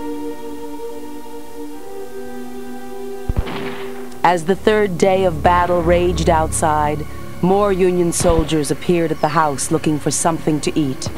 Determined to help, Jenny set about baking biscuits so that they might have the strength to continue their fight. But that morning, Confederate marksmen had taken positions in the buildings on both sides of Baltimore Street. They had begun firing bullets into the surrounding area. Then the snipers turned toward the Jenny Wade house. Perhaps the rebels believed there were Union soldiers inside. At 8.30 that morning, a Louisiana infantryman in an upstairs room took aim at the door of the Wade house and fired. His bullet went through the door. Screams came from inside. The bullet struck Jenny in the back, piercing her heart. She fell to the floor as blood mixed with the dough still on her hands.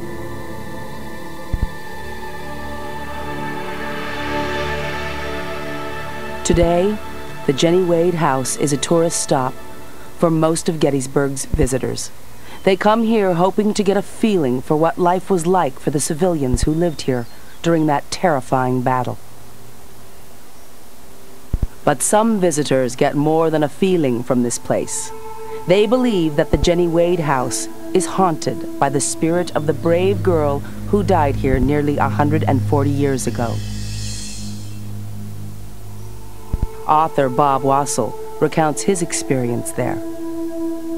I had gathered for a tour at the Jenny Wade House, and uh, a lady came in, and she looked very strange, and she said she had a brochure, and she said, um, this picture on the brochure is my daughter Jenny. And she said, uh, I had to come into this house. Something drew me here. The woman's name was Alice. She was visiting Gettysburg from Silver Springs, Maryland with her husband. At the sight of the picture on the Jenny Wade brochure, he was too disturbed to take the tour and had let Alice come alone. She seemed very upset. She said uh, her daughter, her own daughter, which, whose name was Jenny, died in July at the same age as Jenny Wade. Wasel followed Alice and the tour group inside, but neither was prepared for what happened next. As she nervously toured the house, Alice began to feel as if she was being watched. But it was a familiar presence she felt, the presence of her daughter, Jenny. The tour had begun in the parlor room where bullet holes from the Confederate snipers could still be seen in the fireplace and the furniture. They learned that it was here that Jenny had read from her Bible early on the morning of her death, and that it was here that the Wade family had taken cover at the beginning of the Battle of Gettysburg. During this, Alice began to feel not like a tourist. Instead, she felt uneasy, as if she had been beckoned here by someone or something.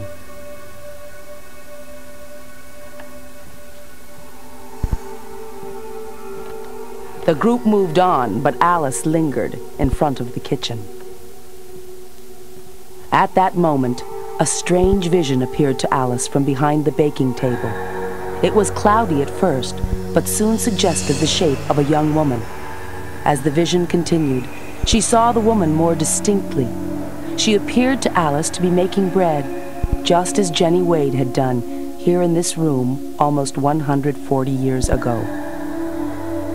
Was this the spirit of Jenny Wade?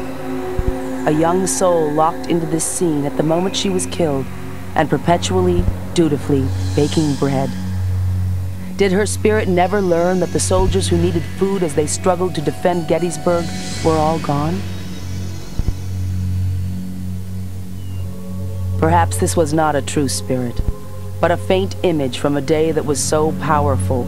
Traces of it still linger here in the Jenny Wade house.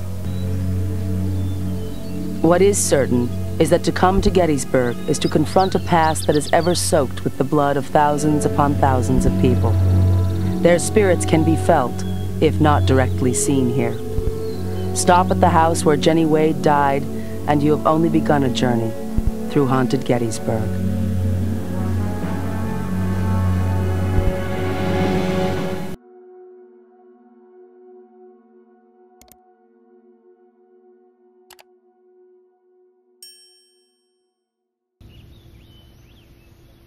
Located just inside the boundaries of the Gettysburg National Park is Spangler Springs. Clearly, this is not one of the main tour destinations for most visitors to the park. Other areas saw much more spectacular action during the battle. Their main claim to fame since the war is because of recurrent sightings here of a ghost that has come to be known as the Woman in White. Legend has it that she is the sad spirit of a young woman who committed suicide at the Springs many years ago after the man she was about to marry broke off the relationship. Most recently, the despondent apparition was sighted by two vacationing nurses. They had heard there were ghosts in Gettysburg, but as veterans of the nursing profession, they approached everything with a high degree of skepticism. Nursing, at least as far as what I do on one hand, is extremely organized. It's fairly scientific. You have your um, methods that you go through, um, and things usually go in steps one, two, three. I'm usually someone who needs a lot of facts. As darkness descended upon the park, they decided to tempt fate and stay after sundown.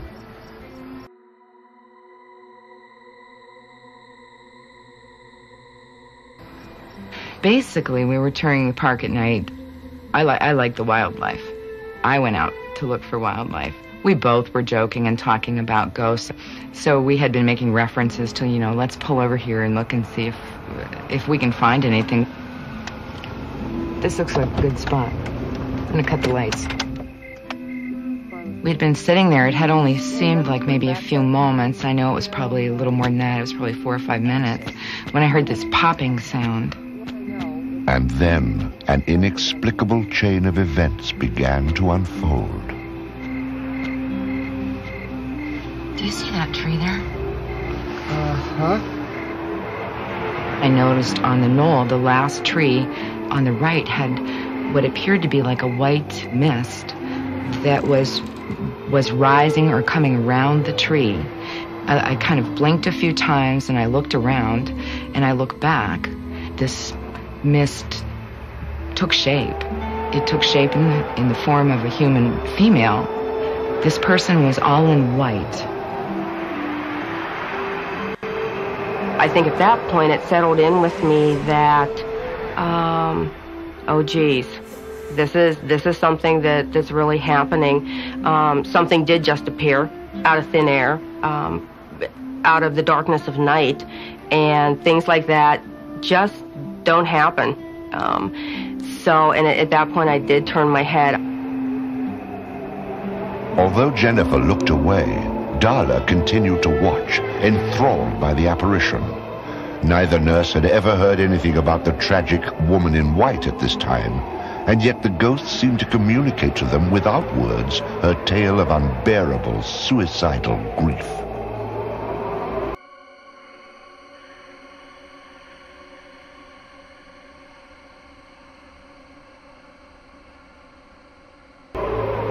That was when the sadness struck. Um, I remember telling Jennifer, oh, she's so beautiful. She is just so beautiful, and it's so sad. And all of a sudden, the tears started running down my face. You know, Darla, we need to go, and, and we need to drive out of here now. By this time, Jennifer had had enough. Although Darla was completely caught up in the haunting, her friend wouldn't stay another second.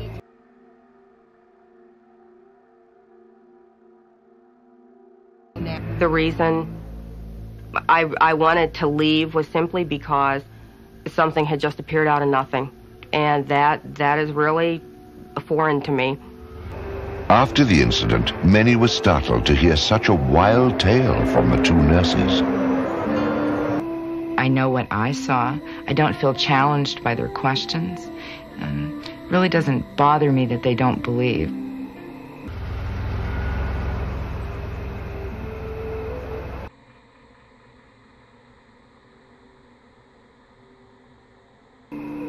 I always thought that I would be so compelled to somehow make them believe what I've seen, and it's, it's really not important to me. I know what I saw, it was very vivid, and that's all I needed to know.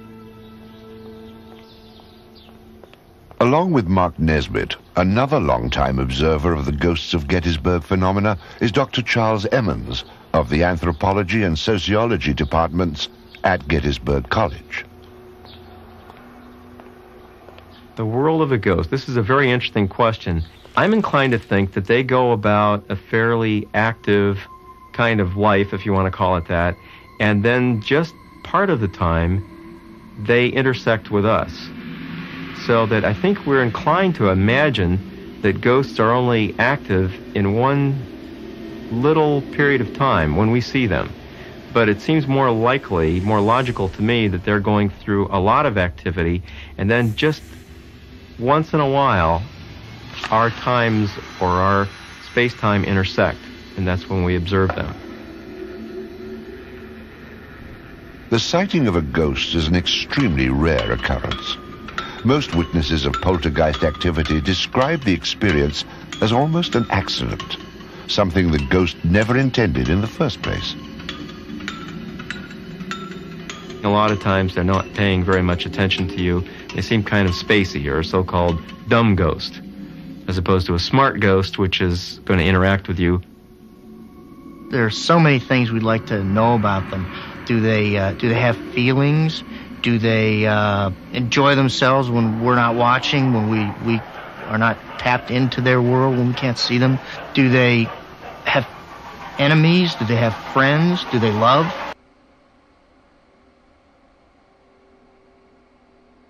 We know probably that they have a sense of humor, at least the poltergeists or the uh, mischievous ghosts that we uh, uh, have experienced. Or maybe they don't exist at all. Maybe they're just figments of our imaginations. We know for sure one thing, and that's that they're totally unpredictable.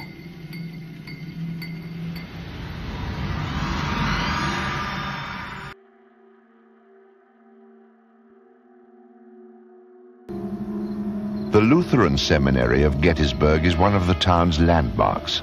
Established long before the war in 1826, it was well known to many of the soldiers who came to Gettysburg to fight. General Reynolds is said to have visited the school grounds prior to going into battle.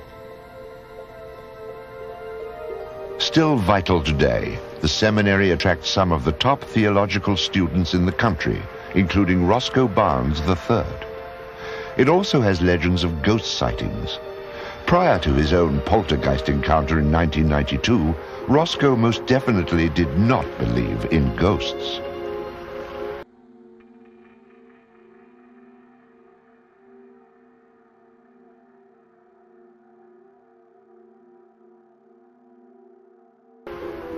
As a Christian, I have certain views about the dead and what happens uh, with the dead.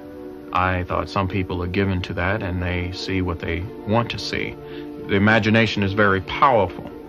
And I felt that because of uh, stories circulating in the area, well, the students were seeing what they pretty much wanted to see. That was my opinion. But of course, that all changed.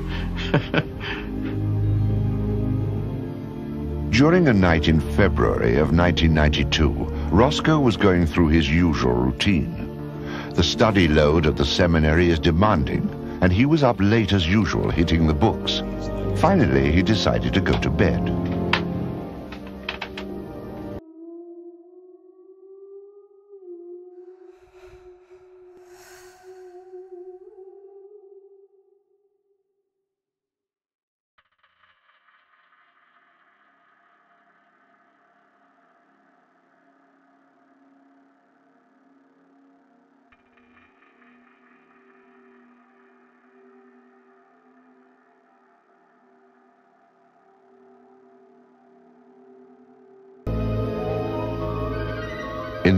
The middle of the night, he was startled awake.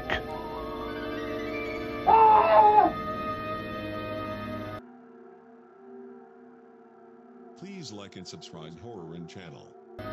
Sometime between 2 and 3, I heard a friend down the hall scream. Uh, at first, I thought he was playing another one of his jokes. And because he had been in the military, I thought he was making one of his army calls. And I thought just for a second that maybe there's a problem, but again, I thought military, and I didn't think much of it.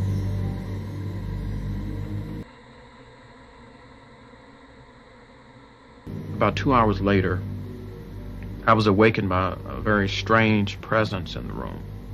I was sleeping on my right side facing the window, and I just had the feeling that someone was standing in the room looking at me. You know, sometimes you can sense those things.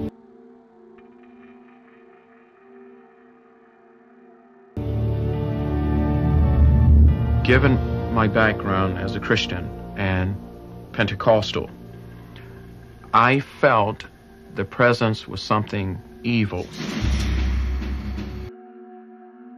I immediately thought there was a demonic, satanic presence in the room. I turned my head over slightly toward the left to look at this presence. I had no idea what it was or what it looked like, but I looked over there, and when I looked, I saw what appeared to be a man who appeared to be tall.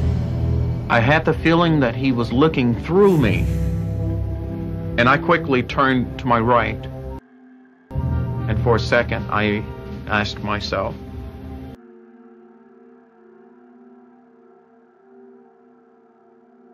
self, am I dreaming? Am I awake? Is it real? And so I looked again a second time. He was in the same position, standing, looking the same way. So I turned back to the right and began to pray, asking God to help me, uh, calling on the name of Christ, pleading for his help.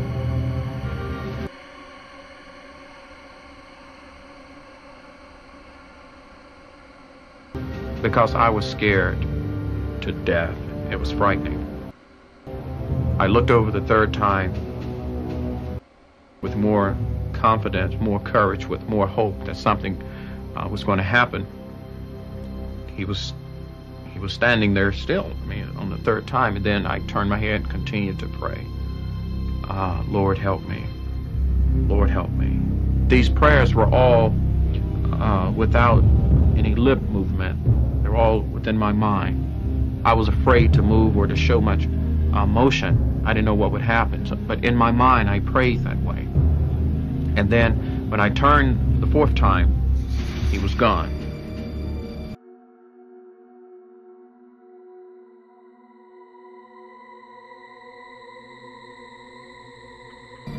And oh, was I elated. Shaken by the experience, but fortified by his faith, Roscoe decided to let the incident pass.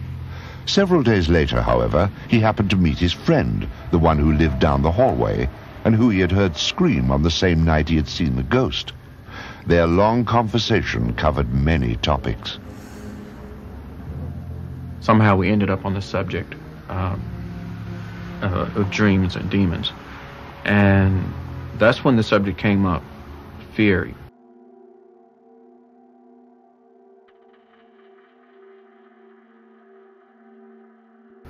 He said, well, man, just the other night something happened to me, and it just really, it, it, it just scared the heck out of me. Evidently, at almost the same time, the apparition Roscoe had seen had also visited his friend. Unlike the officer standing in Roscoe's room, though, for this haunting, the ghost chose only to show his head floating around the room.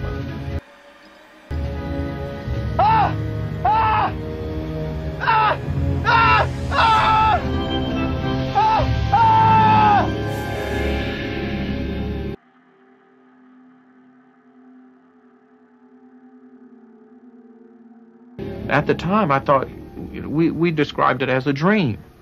But then we thought, this is too coincidental. I mean, it, there's got to be more to it than just a dream. Is the Civil War still being fought in the spirit world around Gettysburg? No one can say for sure, but there are hundreds of eyewitnesses who will tell you yes.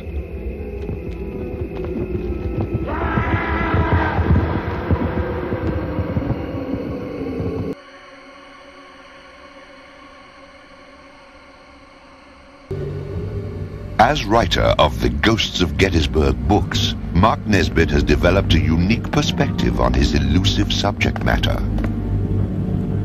To rule out hoax, each story must go through a rigid process of authentication before being published. What I try and do is interview the people. I talk to them at least three, sometimes four times before I finally write the story down. The first time either they call me or someone refers them to me. I'll give them a call, have them tell me the story. Usually I'll call them again and uh, talk to them again and then have an eye-to-eye interview with them. And uh, that sometimes will uh, reveal more about the person. It's very difficult to lie to somebody when you're going face to face.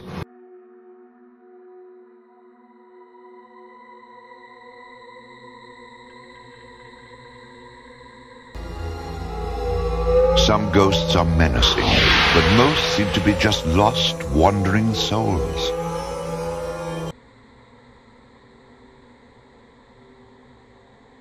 There's no doubt that people, uh, having seen film and, and, and TV, have this idea that ghosts are uh, malevolent and, and, and are attempting to harm someone. But this is, I don't believe this is the case. The idea that they're caught between worlds trying to work out problems, I think, is, is fairly prevalent. The ghost stories that I've collected, the ghosts appear to be just more or less stuck in this particular area. Many people even learn to live with the ghosts that inhabit their homes. A friend of mine um, who has gone on to a distinguished law career in Baltimore told me the story of how she was at a, uh, a party at a uh, one of the uh, fellows who lived in one of the apartments here in Gettysburg. The kids like to get together and, and, and have parties just like any other college town. It was a Friday night party at the home of other college students who were renting Civil War House. The Civil War House was designed like many other Civil War homes The older part of the house was in the back, and at the front of the house was the living room, which had been added in the 1930s or 40s. She was in the modern section of the house, and the party was going on, and she looked through a couple of doors into the older section of the house, and she noticed a young man standing there. I was very struck by the fact that he looked sad. When I looked closer, I realized that it seemed there were tears running down his face, and it seemed as if he wanted to move forward into the rest of the house where the party was taking place, but couldn't, for some reason was being held back. She waved to him to try and get him to uh, join the party, but uh, he didn't respond. It's almost as if he can't make it into the modern section of the house. I turned to the boy that was standing next to me. He was one of the students who lived in the house and asked him who was standing in the doorway. And his only response to me was, Oh, you see him too. And he explained that there was a ghost living in the house, that all of the occupants of the house had seen the ghost from time to time, and they had just become used to him being around. I think that's a very interesting haunting case. And what's especially interesting about it is that the ghost seems to be paying attention to the party. Something is happening that seems to be of interest to the ghost. This is a case where people are not afraid of a ghost. They know that other people have seen it, and it's not a traumatic situation. Other people might react differently and be just so upset by anything apparently paranormal that they would want to leave. Up until that time, I didn't believe at all in ghosts, was very skeptical, and now I do believe.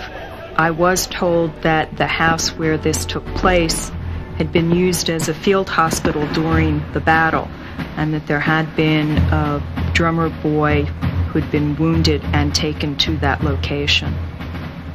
None of it was scary. I was very surprised. It was just very sad because he was so sad.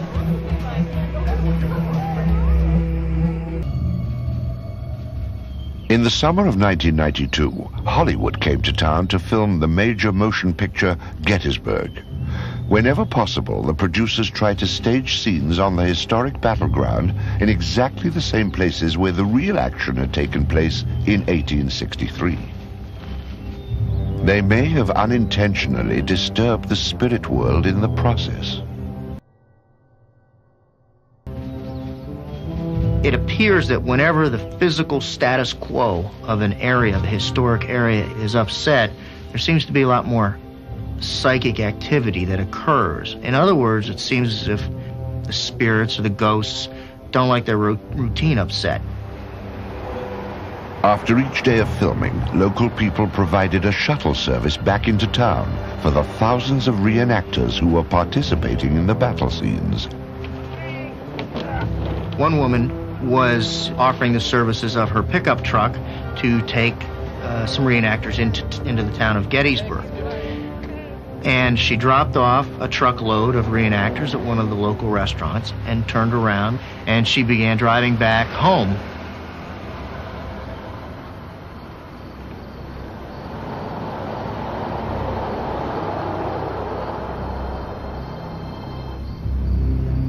seems she had shuttled more off the battlefield than a bunch of movie reenactors.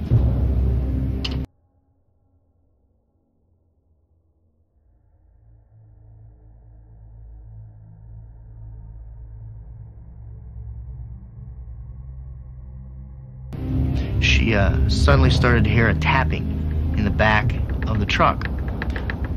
She looked in the rearview mirror and she saw something that completely frightened her. Two soldiers, two Civil War soldiers were sitting in the bed of the truck. Was someone playing a practical joke on her? Had some of the reenactors not gotten out of the back of her truck when she had stopped?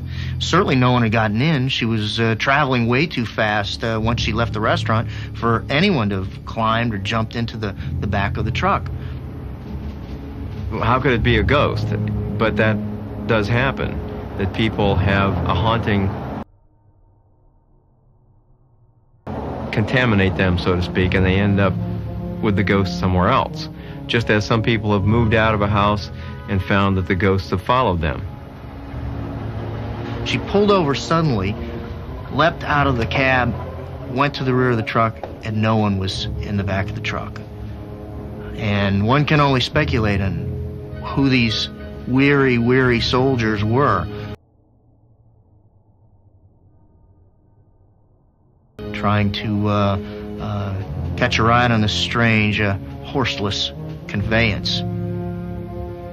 Whether playing with your mind or just being mischievous and silly, nearly every human activity has been attributed to ghosts. Another historic place where ghosts seem to linger is the Gettysburg Park itself. One bizarre incident that happened at the park involved a group of visiting dignitaries. One of the very first stories that I heard about the battlefield, that's been whispered about and talked about by the park rangers through the years, is a story about a group of visiting dignitaries who had been taken on a battlefield tour by the National Park Service. Special tour was arranged just for them. They visited the various sites, and they got to a, a, one of the battle sites and got out of their car, and they were about to observe and be explained uh, the battle action in that area. They looked down into a Little Valley, and lo and behold, there was a a unit down there, a Civil War unit, dressed just like uh, they would have been at the time of the war. They began maneuvering, uh, marching, forward marching, doing the flank maneuvers, the column left, and uh, the, the wheeling. An evolution is what they call it of a, of a regiment uh, in battle drill. And the dignitaries were very, very pleased that the National Park Service would put on this demonstration just for their benefit. What they may have seen was the park's Phantom Regiment. Over the years, numerous visitors have witnessed exactly the same scene.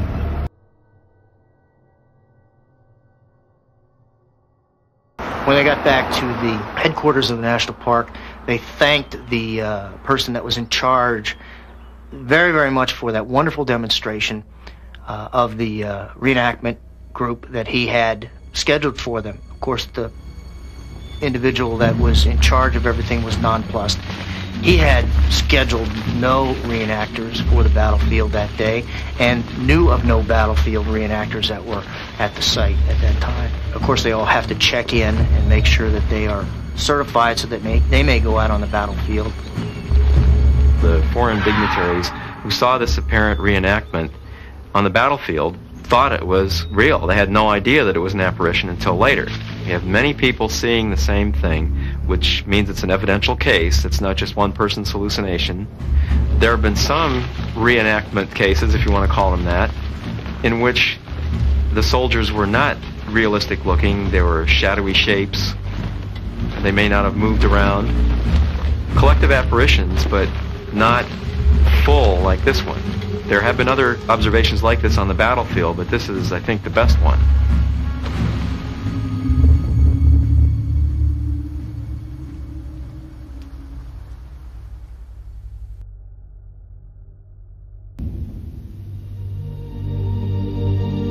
Another tragic war story that may have given birth to a ghost involves General John Reynolds. Reynolds was considered by many to be one of the best and brightest officers in the Union Army. During the Battle of Gettysburg, though, the action he saw was short and deadly.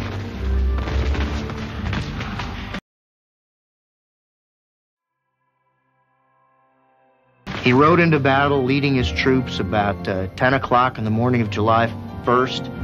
By 10:20 he was dead, shot through the head by a Confederate sharpshooter. Reynolds became the highest ranking Union officer to die in the battle. Yet his presence has been felt in Gettysburg ever since the war. Perhaps his quick demise so early in the battle has been troubling him over the decades, for his spirit seems to haunt the town. One person he seems to have contacted is Carol Kirkpatrick.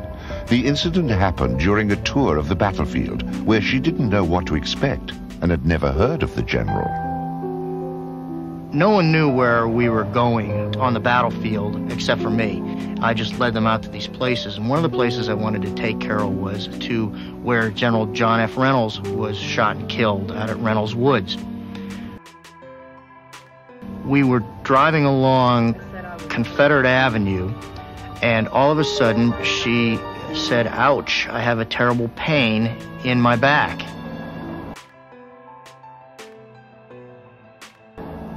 It's like all the hair started standing up on the back of my head. And then as we went on, it's like the pain started going down my side, my back, my lower back got the pain, then into my leg. I finally realized that she was talking about General Reynolds.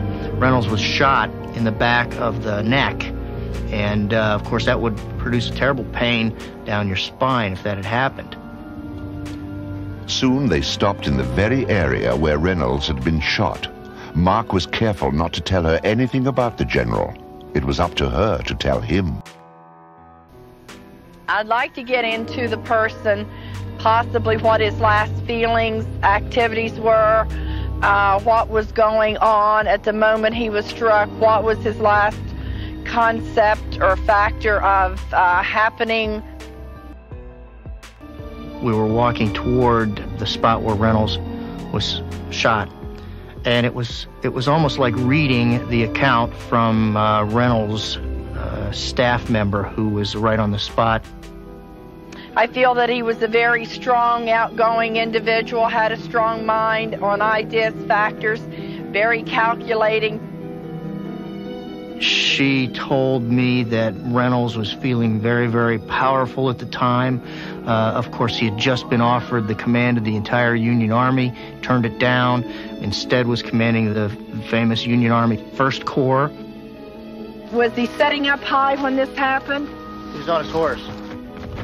She said he turned, and she indicated the exact direction in which he turned, and she said, and then he was shot. Amazingly, then, Carol saw the death of the great general who had fallen over a century before. Something hit him, and I felt, had he have stayed where he was, it would have possibly hit him in another area. But he was like riding around, it appeared to me, or what shown to me. And as he rode and turned, was when then he was struck. Carol, you almost uh, said it verbatim exactly what happened to Reynolds. I don't think Carol could have boned up on, on the battle. I've been studying it for 35 years, and I'm still learning things about it. Certainly, she couldn't, in one evening, she couldn't have uh, learned everything uh, that uh, she told me today. So it's virtually impossible for her to have known anything that she wasn't told out on the battlefield.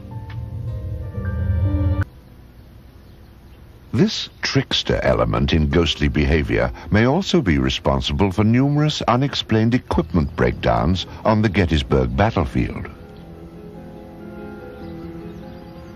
Countless people have had problems with uh, cameras out in the triangular field area. I myself and uh, two others, simultaneously our cameras broke down in that area. Other people have come up to me when I was out there giving tours and mentioned that all of a sudden their cameras have gone on the blink and uh, they won't function anymore.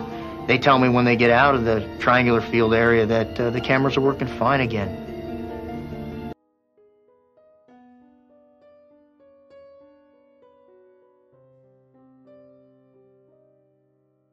I think one of the most fascinating questions about ghosts is why there are so many equipment failures. I've had it happen to me. Cameras fail, and I can't remember anything like that happening except when I was doing something on the paranormal, especially ghosts.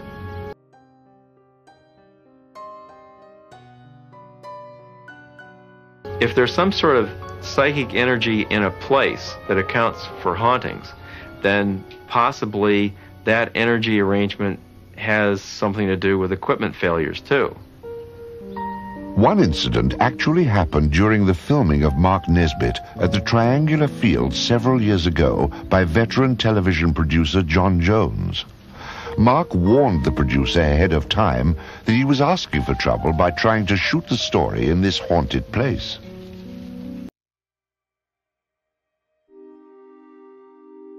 He goes, no, no, no. He said, the ca- your cameras won't function in this field. Well, that was a cute story. That's fine. But, um, you know, we're producers. We're in the real world. And, uh, yeah, my cameras will work. They were good cameras. It was new equipment. Uh, we had been shooting for a couple weeks up to this time. We asked Mark to step beyond the fence, and we set up our camera. And I was talking to Mark while the crew was setting the camera. The cameraman was setting up the camera, and he yelled, uh, John, we've got a problem. And I, and I looked, and he says, I, I've got a warning light in my viewfinder. I had looked over the fence towards Mark, and he's standing there with this sort of this all-knowing smile and shaking his head. I told you so. We hadn't experienced problems with it prior to this to this event, and we were shooting all morning until we arrived at the triangular field. But the moment we mounted that camera on the tripod and turned the switch on, um, until we left and lifted the camera off the tripod, we had all kinds of havoc.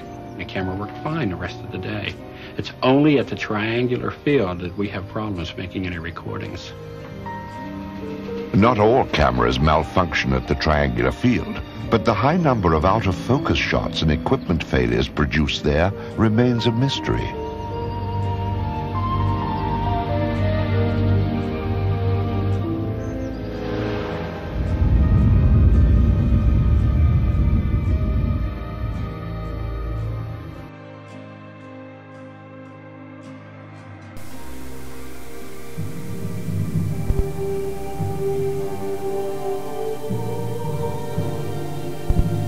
Gettysburg.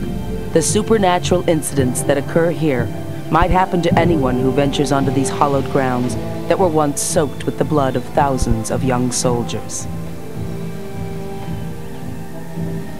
Some ended their lives suddenly, others lingered painfully until they gasped a final breath.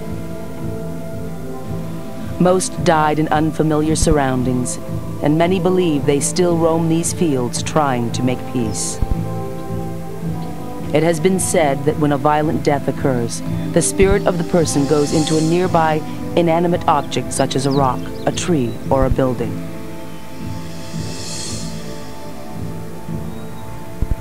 Sachs Bridge is such a place. Built over Gettysburg's Marsh Creek in 1852, the covered bridge was deep in the Confederate rear when the Battle of Gettysburg began. Its timbers seemed to resonate with sounds, feelings, and memories of the blood-soaked days of the Civil War.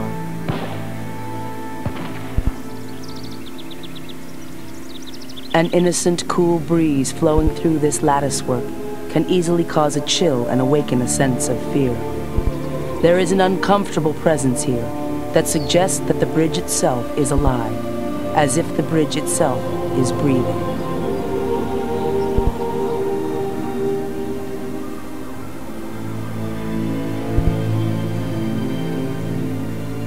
Sachs Bridge was just one mile from Confederate General James Longstreet's headquarters, and his troops surely marched across it on July 1st as they prepared to attack the Union lines.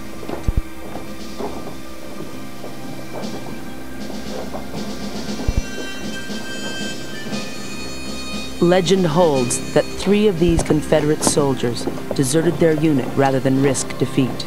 They were captured and they were quickly punished. The penalty for desertion during the Battle of Gettysburg was death. That day, the deserters were taken back to the bridge they had fled over. Nooses were thrown over the rafters inside, and for one afternoon at Gettysburg, Sachs Bridge was a hanging place.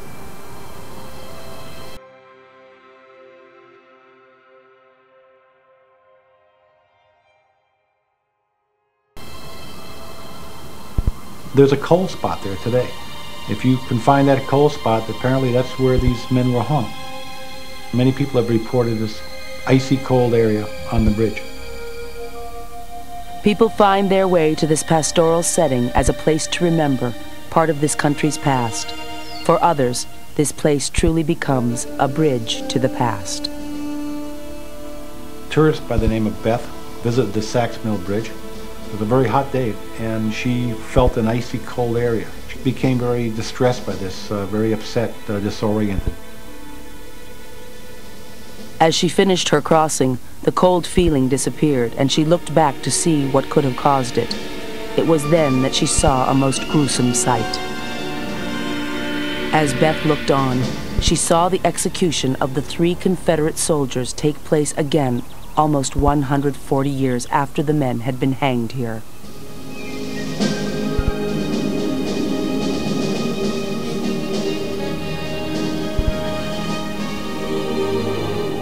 It seems that the spirits of Confederate soldiers still linger here around Sachs Bridge. While Beth had been unprepared for her supernatural encounter, there are others who come here looking for one.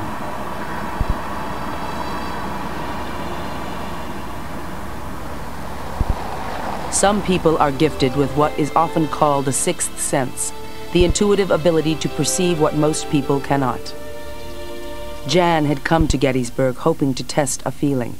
She believes she is sensitive to supernatural forces and, with her husband Jim, planned to try her psychic abilities on the hallowed ground around Sachs Bridge. As they imagined the executions that had taken place here and the horrid fighting that occurred nearby, Jan used her intuition to lead Jim through the locality in search of unusual feelings. While they walked, Jim videotaped their experiment. Almost immediately, Jan began to pick up strange sensations. As the couple walked through a grove of trees, Jan started to get feelings of sadness. As she continued, waves of coldness seemed to pass through her body. She described to Jim that there was something just up ahead and that he should follow her that way.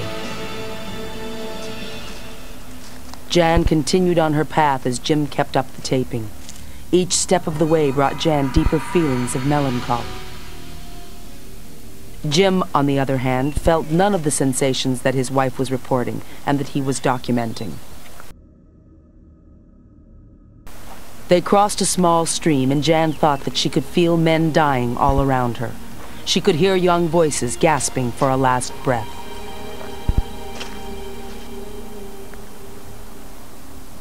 For Jim, the experience was uncomfortable, and as the path in front of them widened, Jan started pointing up ahead to a group of trees.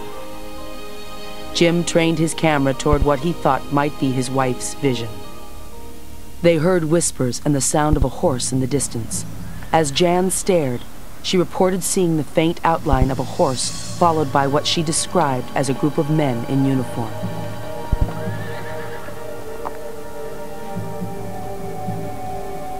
As the Phantom Patrol approached, its outline became clearer to Jan.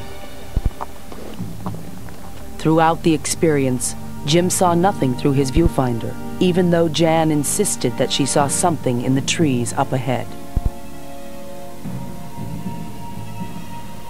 The videotape that Jim made that day is a startling record of his wife's ability to detect the presence of the supernatural. Upon playback, an image of six men and a horse could actually be seen approaching the position of the couple. There is no rational explanation for what happened in that videotape, or why the scene was only visible to Jan as her husband stood behind her holding the camera. For still others who visit Sachs Bridge, a supernatural experience can take place so quickly and innocently that no one realizes it happened until after it has ended.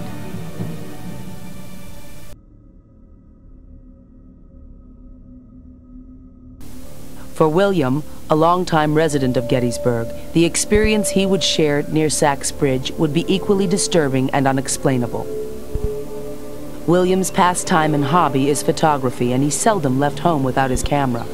The area around the Gettysburg battlefield continually offered that perfect shot, and he was always prepared for it.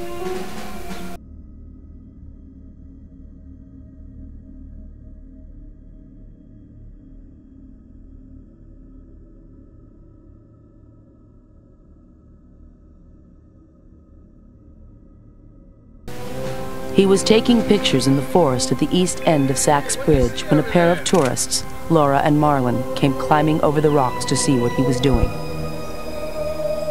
The three began talking as William pointed out the direction of General Longstreet's Confederate headquarters and explained the number of troops who would have crossed here during the Battle of Gettysburg.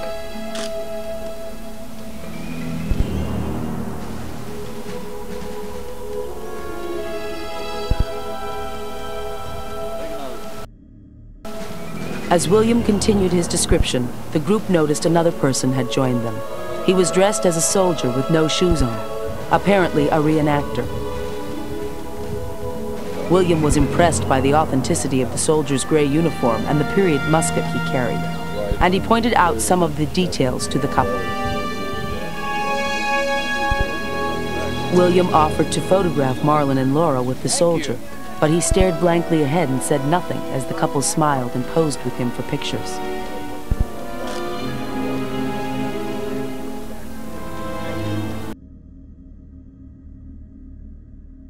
When the brief photo session ended, William and the couple resumed their conversation, and without a word, the soldier wandered off. Within seconds, he was nowhere to be seen, and William and the group assumed they had just lost sight of him. When the film was developed, the tourists posing near Sachs Bridge could be seen, but none of the photos contained any trace of the mysterious Confederate soldier. Sachs Bridge spans not only water, but time. To visit here is to come face to face with more than 100 years of history. A history that replays itself over and over again in haunted Gettysburg.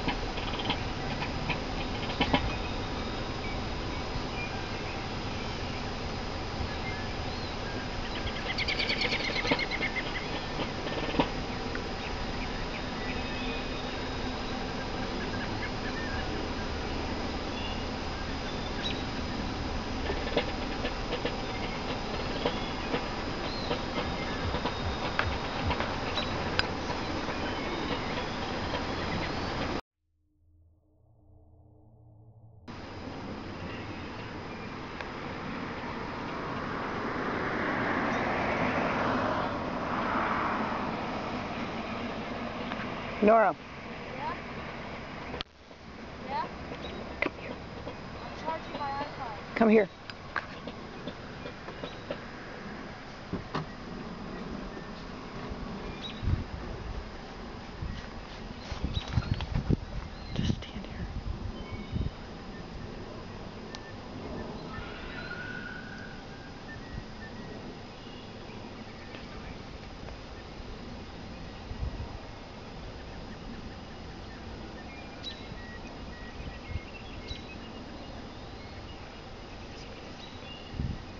drummer.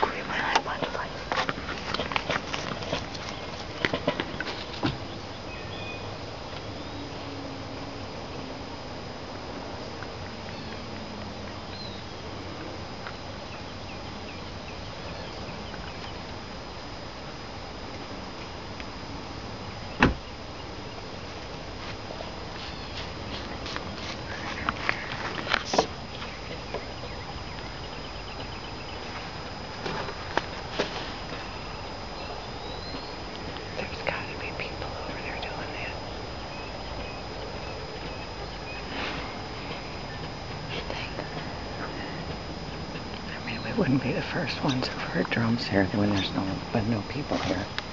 But it's hard for me to believe I'm actually hearing it.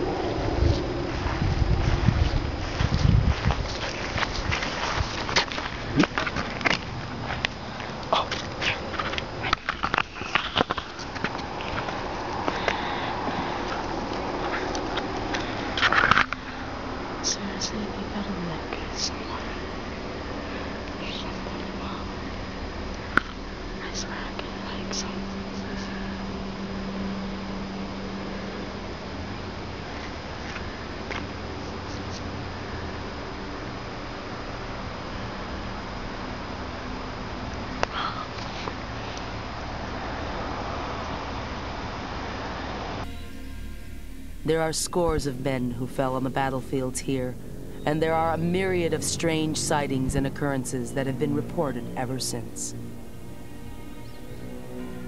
The hanging bridge conveys chills. The hotel is home to ghosts. A young woman eternally bakes bread for soldiers who have long ago vanished. A phantom patrol walks endlessly in the forest. These are but a few of the stories of the hauntings here, tales from the place called Haunted Gettysburg.